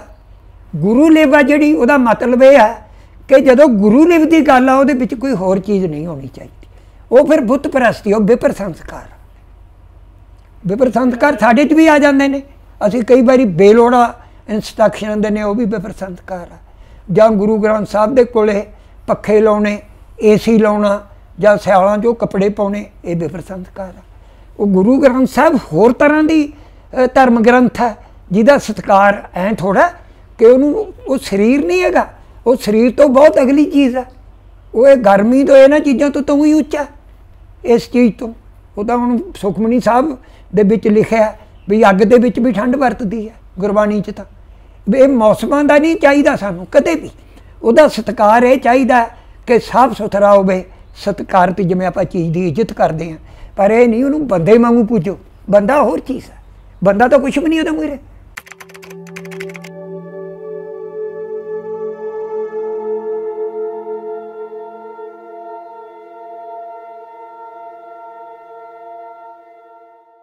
ਅਸਲ ਵਿੱਚ ਕੋਈ ਬੰਦਾ ਸੀਗਾ। ਸੱਚੀ ਮੁੱਚੀ। ਉਹ 12 ਦਰੀ ਦੇ ਵਿੱਚ ਕਿਸੇ ਲੜਕੀ ਨੂੰ ਮਿਲਦਾ। ਬੰਦਾ ਸੀ, ਉਹ ਬਹੁਤ ਬਲੀ ਕੋਈ। ਜਿਵੇਂ ਪੂਰਨ ਸਿੰਘ ਨੇ ਜੰਗਲੀ ਫੁੱਲ ਲਿਖੀ ਹੈ ਉਹਦੇ ਜਵਾਈ ਤੇ ਉਹਦੀ ਕੁੜੀ ਨੇ ਉਹਨੂੰ ਗੱਲ ਸੁਣਾਈ ਸੀ। ਜੰਗਲੀ ਫੁੱਲ ਦੀ, ਫੇਰ ਉਹਨੇ ਉਹ ਪੋਇਮ ਲਿਖੀ ਸੀ। ਉਹ, ਉਹਦੇ ਉੱਤੇ ਉਹ ਕੋਈ ਉਹਦੇ ਚ ਇਸਤਰੀ ਆ। ਉਹਨੂੰ ਇੱਕੋ ਹੀ ਵਾਰੀ ਮਿਲਦਾ। ਬੰਦਾ ਉਹ ਸਿੱਧਕੀ ਆ, ਬਹੁਤ ਸੱਚਾ ਸੁੱਚਾ ਉਹ ਫਿਰ ਉਹਦੇ ਤੇ ਐਪਿਕ ਲਿਖਦਾ। ਉਹ ਐਪਿਕ ਚ ਉਹਦੀ ਬਿਊਟੀ ਚਿੱਤਰਦਾ ਕਿ ਇਹ ਜੋਗ ਮਤ ਦੇ ਵਿੱਚੋਂ ਹਿੰਦੂ ਟ੍ਰੈਡੀਸ਼ਨਸ ਦੇ ਵਿੱਚੋਂ ਜਿਵੇਂ ਸਿੱਖ ਬਣੇ ਨੇ, ਕਿਵੇਂ ਆਈ ਸਿੱਖ ਧਰਮ ਦੇ ਵਿੱਚ ਆ ਕੇ ਇਹਦਾ ਕੀ ਰੂਪ ਬਣਿਆ ਤੇ ਰੁੱਤਾਂ ਨੇ ਜਿਹੜੀਆਂ, ਰੁੱਤਾਂ ਉਹ ਇਸਤਰੀ ਦੀ ਜਾਂ ਤਾਂ ਸੁਨੇਹਾ ਲਿਜਾਣ ਵਾਲੀਆਂ ਨੇ ਜਾਂ ਉਹ ਬੰਦੇ ਦਾ ਜਿਹੜਾ ਸੁੱਤਾ ਪਿਆ, ਉਹ ਜੋਗੀ ਦੇ ਰੂਪ 'ਚ ਪਿਆ, ਉਹ ਕੋਈ ਪੁਰਾਣਾ ਸਮਾਧੀ ਲਾਈ ਉਹਨੂੰ ਜਗਾਉਣ ਜਾਂਦੀਆਂ ਨੇ, ਰੁੱਤਾਂ ਬੇਸਿਕਲੀ ਬੰਦੇ ਹੀ ਕਾਸਦ ਨੇ, ਕਾਸਦ। ਕਿਉਂਕਿ ਇਹ ਉਹਦੇ ਵਿੱਚ ਵੀ ਆਉਂਦਾ ਕੁਰਾਨ ਦੇ ਵਿੱਚ ਵੀ, ਜਾਂ ਕੁਰਾਨ ਦੇ ਉੱਤੇ ਮਾਰਟਨ ਲਿੰਗਜ਼ ਨੇ ਕਿਤਾਬ ਲਿਖੀ ਹੈ ਉਹਦੇ ਵਿੱਚ ਵੀ ਉਹਨੇ ਲਿਖਿਆ ਵੀ ਸਨੇਹਾ ਲਿਜਾਣ ਦੇ ਲਈ ਸਭ ਤੋਂ ਜਿਹੜੀ ਛੇਤੀ ਚੀਜ਼ ਲਿਜਾਂਦੀ ਉਹ ਹਵਾਵਾਂ ਨੇ, ਜਾਂ ਰੁੱਤਾਂ ਨੇ। ਇਹ ਤੁਹਾਨੂੰ ਮਤਲਬ ਹਵਾਵਾਂ ਜਾਂ ਰੁੱਤਾਂ ਰਾਹੀਂ ਉਹ ਸਨੇਹ ਲੈ ਕੇ ਜਾਂਦੀਆਂ ਨੇ, ਉਹ ਸੁੱਤਾ ਪਿਆ, ਉਹਨੂੰ ਮਿਲ ਕੇ ਚਲਿਆ ਗਿਆ ਕੁੜੀ ਨੂੰ। ਉਹਦੀ ਉਹ ਸਨੇਹ ਭੇਜਦੀਆਂ ਨੇ, ਕੋਈ ਤਾਂ ਕਾਸਦ ਰਾਹ 'ਚ ਹੀ ਮਰ ਗਿਆ, ਕੋਈ ਕਿਸ ਤਰ੍ਹਾਂ ਰੁਲ ਗਿਆ, ਪਰ ਜਿਹੜਾ ਉਹ ਜਾਂਦਾ, ਉਹ ਫਿਰ ਦੱਸਦਾ ਵੀ ਉਹ ਆ ਕੂਕ ਨੀਂਦਾਂ ਦੇ ਵਿੱਚ ਸੁੱਤਾ ਪਿਆ। ਐ ਉਹਦੀਆਂ ਜ਼ੁਲਫਾਂ ਨੇ ਲੰਮੀਆਂ, ਫਿਰ ਉਹ ਸਿੱਖ ਰੂਪ ਚ ਆਉਂਦਾ। ਸਿੱਖ ਰੂਪ ਤੇ ਉਹ ਕੁੜੀ ਵੀ ਕੋਈ ਸਿੱਖ ਇਸਤਰੀ ਆ। ਉਹਦੇ ਚ ਉਹਦੇ ਕੇਸਾਂ ਦੀ ਬਿਊਟੀ ਆ ਕਿ ਕਿੱਥੋਂ ਆਈ ਆ, ਕਿ ਸਿੱਖ ਰੂਪ ਕਿੱਥੋਂ ਬਣਿਆ ਕਿਹੜੀਆਂ ਕਿਹੜੀਆਂ ਪੁਰਾਣੀਆਂ ਚੀਜ਼ਾਂ ਚੋਂ ਲੰਘ ਕੇ ਆਇਆ। ਤੁਸੀਂ ਜਿਵੇਂ ਪਿਆਰੇ ਦਾ ਦੇਸ਼ ਪੜੋ ਉਹਦੇ ਚ ਜੋਗ ਮਤ ਤੇ ਵੀ ਗਪਤਾਵਾਂ ਨੇ। ਕਿ ਜੋਗ ਵਿੱਚ ਵੀ ਸਾਡਾ ਕੋਈ ਪੜਾਅ ਸੀ। ਅਸੀਂ ਉਹਦੇ ਚੋਂ ਲੰਘ ਕੇ ਆਏ ਆ ਉਹ ਪੜਾ ਕਿਹੋ ਜਿਹਾ ਸੀ? ਉਦੋਂ ਅੱਗੇ ਅਸੀਂ ਕੀ ਹਾਸਲ ਕੀਤਾ? ਉਹਦੀਆਂ ਲਿਮਿਟੇਸ਼ਨਸ ਭਾਵੇਂ ਸੀ, ਪਰ ਫਿਰ ਵੀ ਕਿਸੇ ਵੇਲੇ ਜੋਗੀ ਸਾਡਾ ਸਿਖਰ ਸੀ। ਉਹ ਸਿਖਰ ਚੋਂ ਅਸੀਂ ਕੀ ਕੁਝ ਲਿਆ? ਇਹਨੇ ਸਭ ਕੁਝ ਉਹ ਰਿਜ਼ਕ ਇਕੱਠਾ ਕੀਤਾ ਹੋਇਆ। ਅੱਗੇ ਜਾ ਕੇ ਉਹ ਗੁਰੂ ਨਾਨਕ 'ਚ ਜਾ ਕੇ, ਸਿੱਖ ਧਰਮ ਦੇ ਵਿੱਚ ਜਾ ਕੇ, ਜਿਵੇਂ ਨਿੱਕੀਆਂ ਨਿੱਕੀਆਂ ਕੀਤੀਆਂ ਮੇਰੀ ਉਮਰ ਨੇ ਗੱਲਾਂ ਵੱਡੀਆਂ ਵੱਡੀਆਂ ਹੋਈਆਂ ਸਾਗਰ ਦੀਆਂ ਛੱਲਾਂ ਉਹ ਨਿੱਕੀਆਂ ਨਿੱਕੀਆਂ ਗੱਲਾਂ ਗੁਰਬਾਣੀ 'ਚ ਵੱਡੀਆਂ ਵੱਡੀਆਂ ਛਾਲਾਂ ਬਣ ਕੇ ਫਿਰ ਸਾਹਮਣੇ ਆਉਂਦੀਆਂ। ਰੁੱਤ ਬਦੇ 'ਚ ਵੀ ਹੈ, ਇਸਤਰੀ 'ਚ ਵੀ ਹੈ, ਕੁਦਰਤ ਦੀਆਂ ਹੋਰ ਚੀਜ਼ਾਂ 'ਚ ਵੀ ਹੈ। ਰੁੱਤਾਂ ਇਹ ਪਦਿਆਂ ਦੇ ਰਾਹੀਂ ਪ੍ਰਗਟ ਹੁੰਦੀਆਂ ਨੇ ਜਾਂ ਇਸਤਰੀਆਂ ਦੇ ਰਾਹੀਂ। ਉਹਦੇ ਵਿੱਚ ਜੋਗੀ ਵੀ ਆਉਂਦਾ, ਪੁਰਾਣਾ, ਜਿਹੜਾ ਵਧੀਆ ਜੋਗੀ ਹੈ ਬਹੁਤ ਸੋਹਣਾ ਚਿੱਤਰਿਆ ਕਿਉਂਕਿ ਇਹਨੇ ਪੜਿਆ ਸੀ, ਜਦੋਂ ਆਪਣਾ ਰਿਗਵੇਦ, ਉਹਦੇ ਤੇ ਇੱਕ ਲੇਖ ਛਪਿਆ ਸੀ ਇਹਦਾ, ਪੰਜਾਬੀ ਚ ਰਿਗਵੇਦ ਦੀਆਂ ਆਵਾਜ਼ਾਂ ਉਹ ਜਦੋਂ ਛਪਿਆ ਨਾ, ਲੁਧਿਆਣੇ ਸੰਸਕ੍ਰਿਤ ਦਾ ਪ੍ਰੋਫੈਸਰ ਸੀ ਵਿਦਿਆ ਭਾਸ਼ਕਰ ਰੋਣ। ਉਹ ਬਹੁਤ ਵਿਦਵਾਨ ਸੀ। ਉਹ ਹਿੱਲ ਗਿਆ ਸਾਰਾ ਪੜ ਕੇ, ਕਹਿੰਦਾ ਇਹ ਵਿਦਵਾਨ ਕੌਣ ਆ ਕਹਿੰਦਾ ਉਹਨੂੰ ਅੱਜ ਵੀ ਸੰਸਕ੍ਰਿਤ ਪੜਿਆ ਹੋਇਆ। ਇੰਨਾ ਸੋਹਣਾ ਉਹ ਆਰਟੀਕਲ ਸੀ। ਤੇ ਇਹਨੇ ਉਹਦੀ ਰਿਗਵੇਦ ਦੀ ਸਿਖਰ ਦੱਸਦੀ ਵੀ ਕੀ ਆ। ਤੇ ਸਿਖਰ ਇਹਦੀ ਕਿੱਥੇ ਮੁੱਕਦੀ ਹੈ ਗੁਰਬਾਣੀ ਕਿੱਥੇ ਸ਼ੁਰੂ ਹੁੰਦੀ ਹੈ ਜੀ ਦੱਸ। ਉਹਦੇ ਵਿੱਚ ਸਾਰਾ ਕੁਝ ਦੱਸਿਆ ਵੇਦਾਂਤ ਕੀ ਹੈ ਵਿਦਾਂਤ ਦੀਆਂ ਕਿਹੜੀਆਂ ਸਿਫਤਾਂ ਨੇ? ਵਿਦਾਂਤ ਵਿੱਚ ਬਲੈਸਿੰਗ ਨਹੀਂ ਹੈਗੀ, ਬਖਸ਼ਿਸ਼ ਨਹੀਂ ਹੈਗੀ, ਤੁਸੀਂ ਇਹਨੂੰ ਬਾਰ-ਬਾਰ ਨਹੀਂ ਪੜ ਸਕਦੇ। ਇਹਦੇ ਵਿੱਚ ਇੱਕ ਡਿਸਪਲਿਨ ਵੀ ਨਹੀਂ ਬਣਦਾ, ਇਹ ਤੋਂ ਜੋਗੀ ਵੀ ਨਹੀਂ ਪੂਰਾ ਬਣਦਾ। ਤੇ ਜਿਹੜੀ ਭਗਵਤ ਗੀਤਾ, ਇਹਦੇ 'ਚ ਜਿਹੜਾ ਆਪਣਾ ਗਿਆਨ ਮਾਰਗ ਆ ਯੋਗ ਮਾਰਗ ਆ, ਭਗਤੀ ਮਾਰਗ ਵਗੈਰਾ ਹੈਗੇ ਨੇ ਕਿ ਨਹੀਂ, ਉਹ ਅੱਡ ਅੱਡ ਖਾਨਿਆਂ 'ਚ ਪਏ ਨੇ। ਉਹਨਾਂ ਦੇ ਵਿੱਚ ਇੱਕ ਲਿਰਿਕਲ ਸੰਗੀਤਕ ਤਾਲਮੇਲ ਨਹੀਂ ਹੈ। ਉਹ ਵੀ ਪ੍ਰੇਅਰ ਤਾਂ ਹੀ ਇਹ ਭਗਵਤ ਗੀਤਾ ਨਹੀਂ ਪੜ੍ਹਦੇ। ਹਿੰਦੂ ਕੋਲ ਕੋਈ ਪ੍ਰੇਅਰ ਨਹੀਂ ਹੈ ਪ੍ਰੇਅਰ ਬੁੱਕ ਕੋਈ ਨਹੀਂ ਨਾ ਪੜ੍ਹ ਇਹ ਰਾਧਾ ਕ੍ਰਿਸ਼ਨ ਨੇ ਵੀ ਲਿਖਿਆ ਇੰਡੀਅਨ ਫਲਸਫੀ ਕਹਿੰਦਾ ਨਾ ਸਾਡੇ ਕੋਲ ਕੋਈ ਪੈਗੰਬਰ ਆ, ਨਾ ਸਾਡੇ ਕੋਲੇ ਕਹਿੰਦਾ ਕੋਈ ਧਰਮ ਗ੍ਰੰਥ ਸਾਡਾ ਤਾਂ ਐਵੋਲੂਸ਼ਨ ਦਾ ਧਰਮ ਹੈ ਤੇ ਫਿਰ ਉਹਨੇ ਰਾਮਚੰਦਰ ਦੇ ਬਹੁਤ ਹੀ ਖਿਲਾਫ ਲਿਖਿਆ। ਕਹਿੰਦਾ ਇਹ ਸੋਸ਼ਲੀ ਵੀ ਗਲਤ ਆ। ਇਹ ਸਿਰਫ ਇੱਕ ਕਬੀਲੇ ਨਾਲ ਜੁੜਿਆ ਹੋਇਆ। ਨਾ ਇਹਦੇ ਚ ਸਪਿਰਚੁਅਲਿਟੀ ਹੈ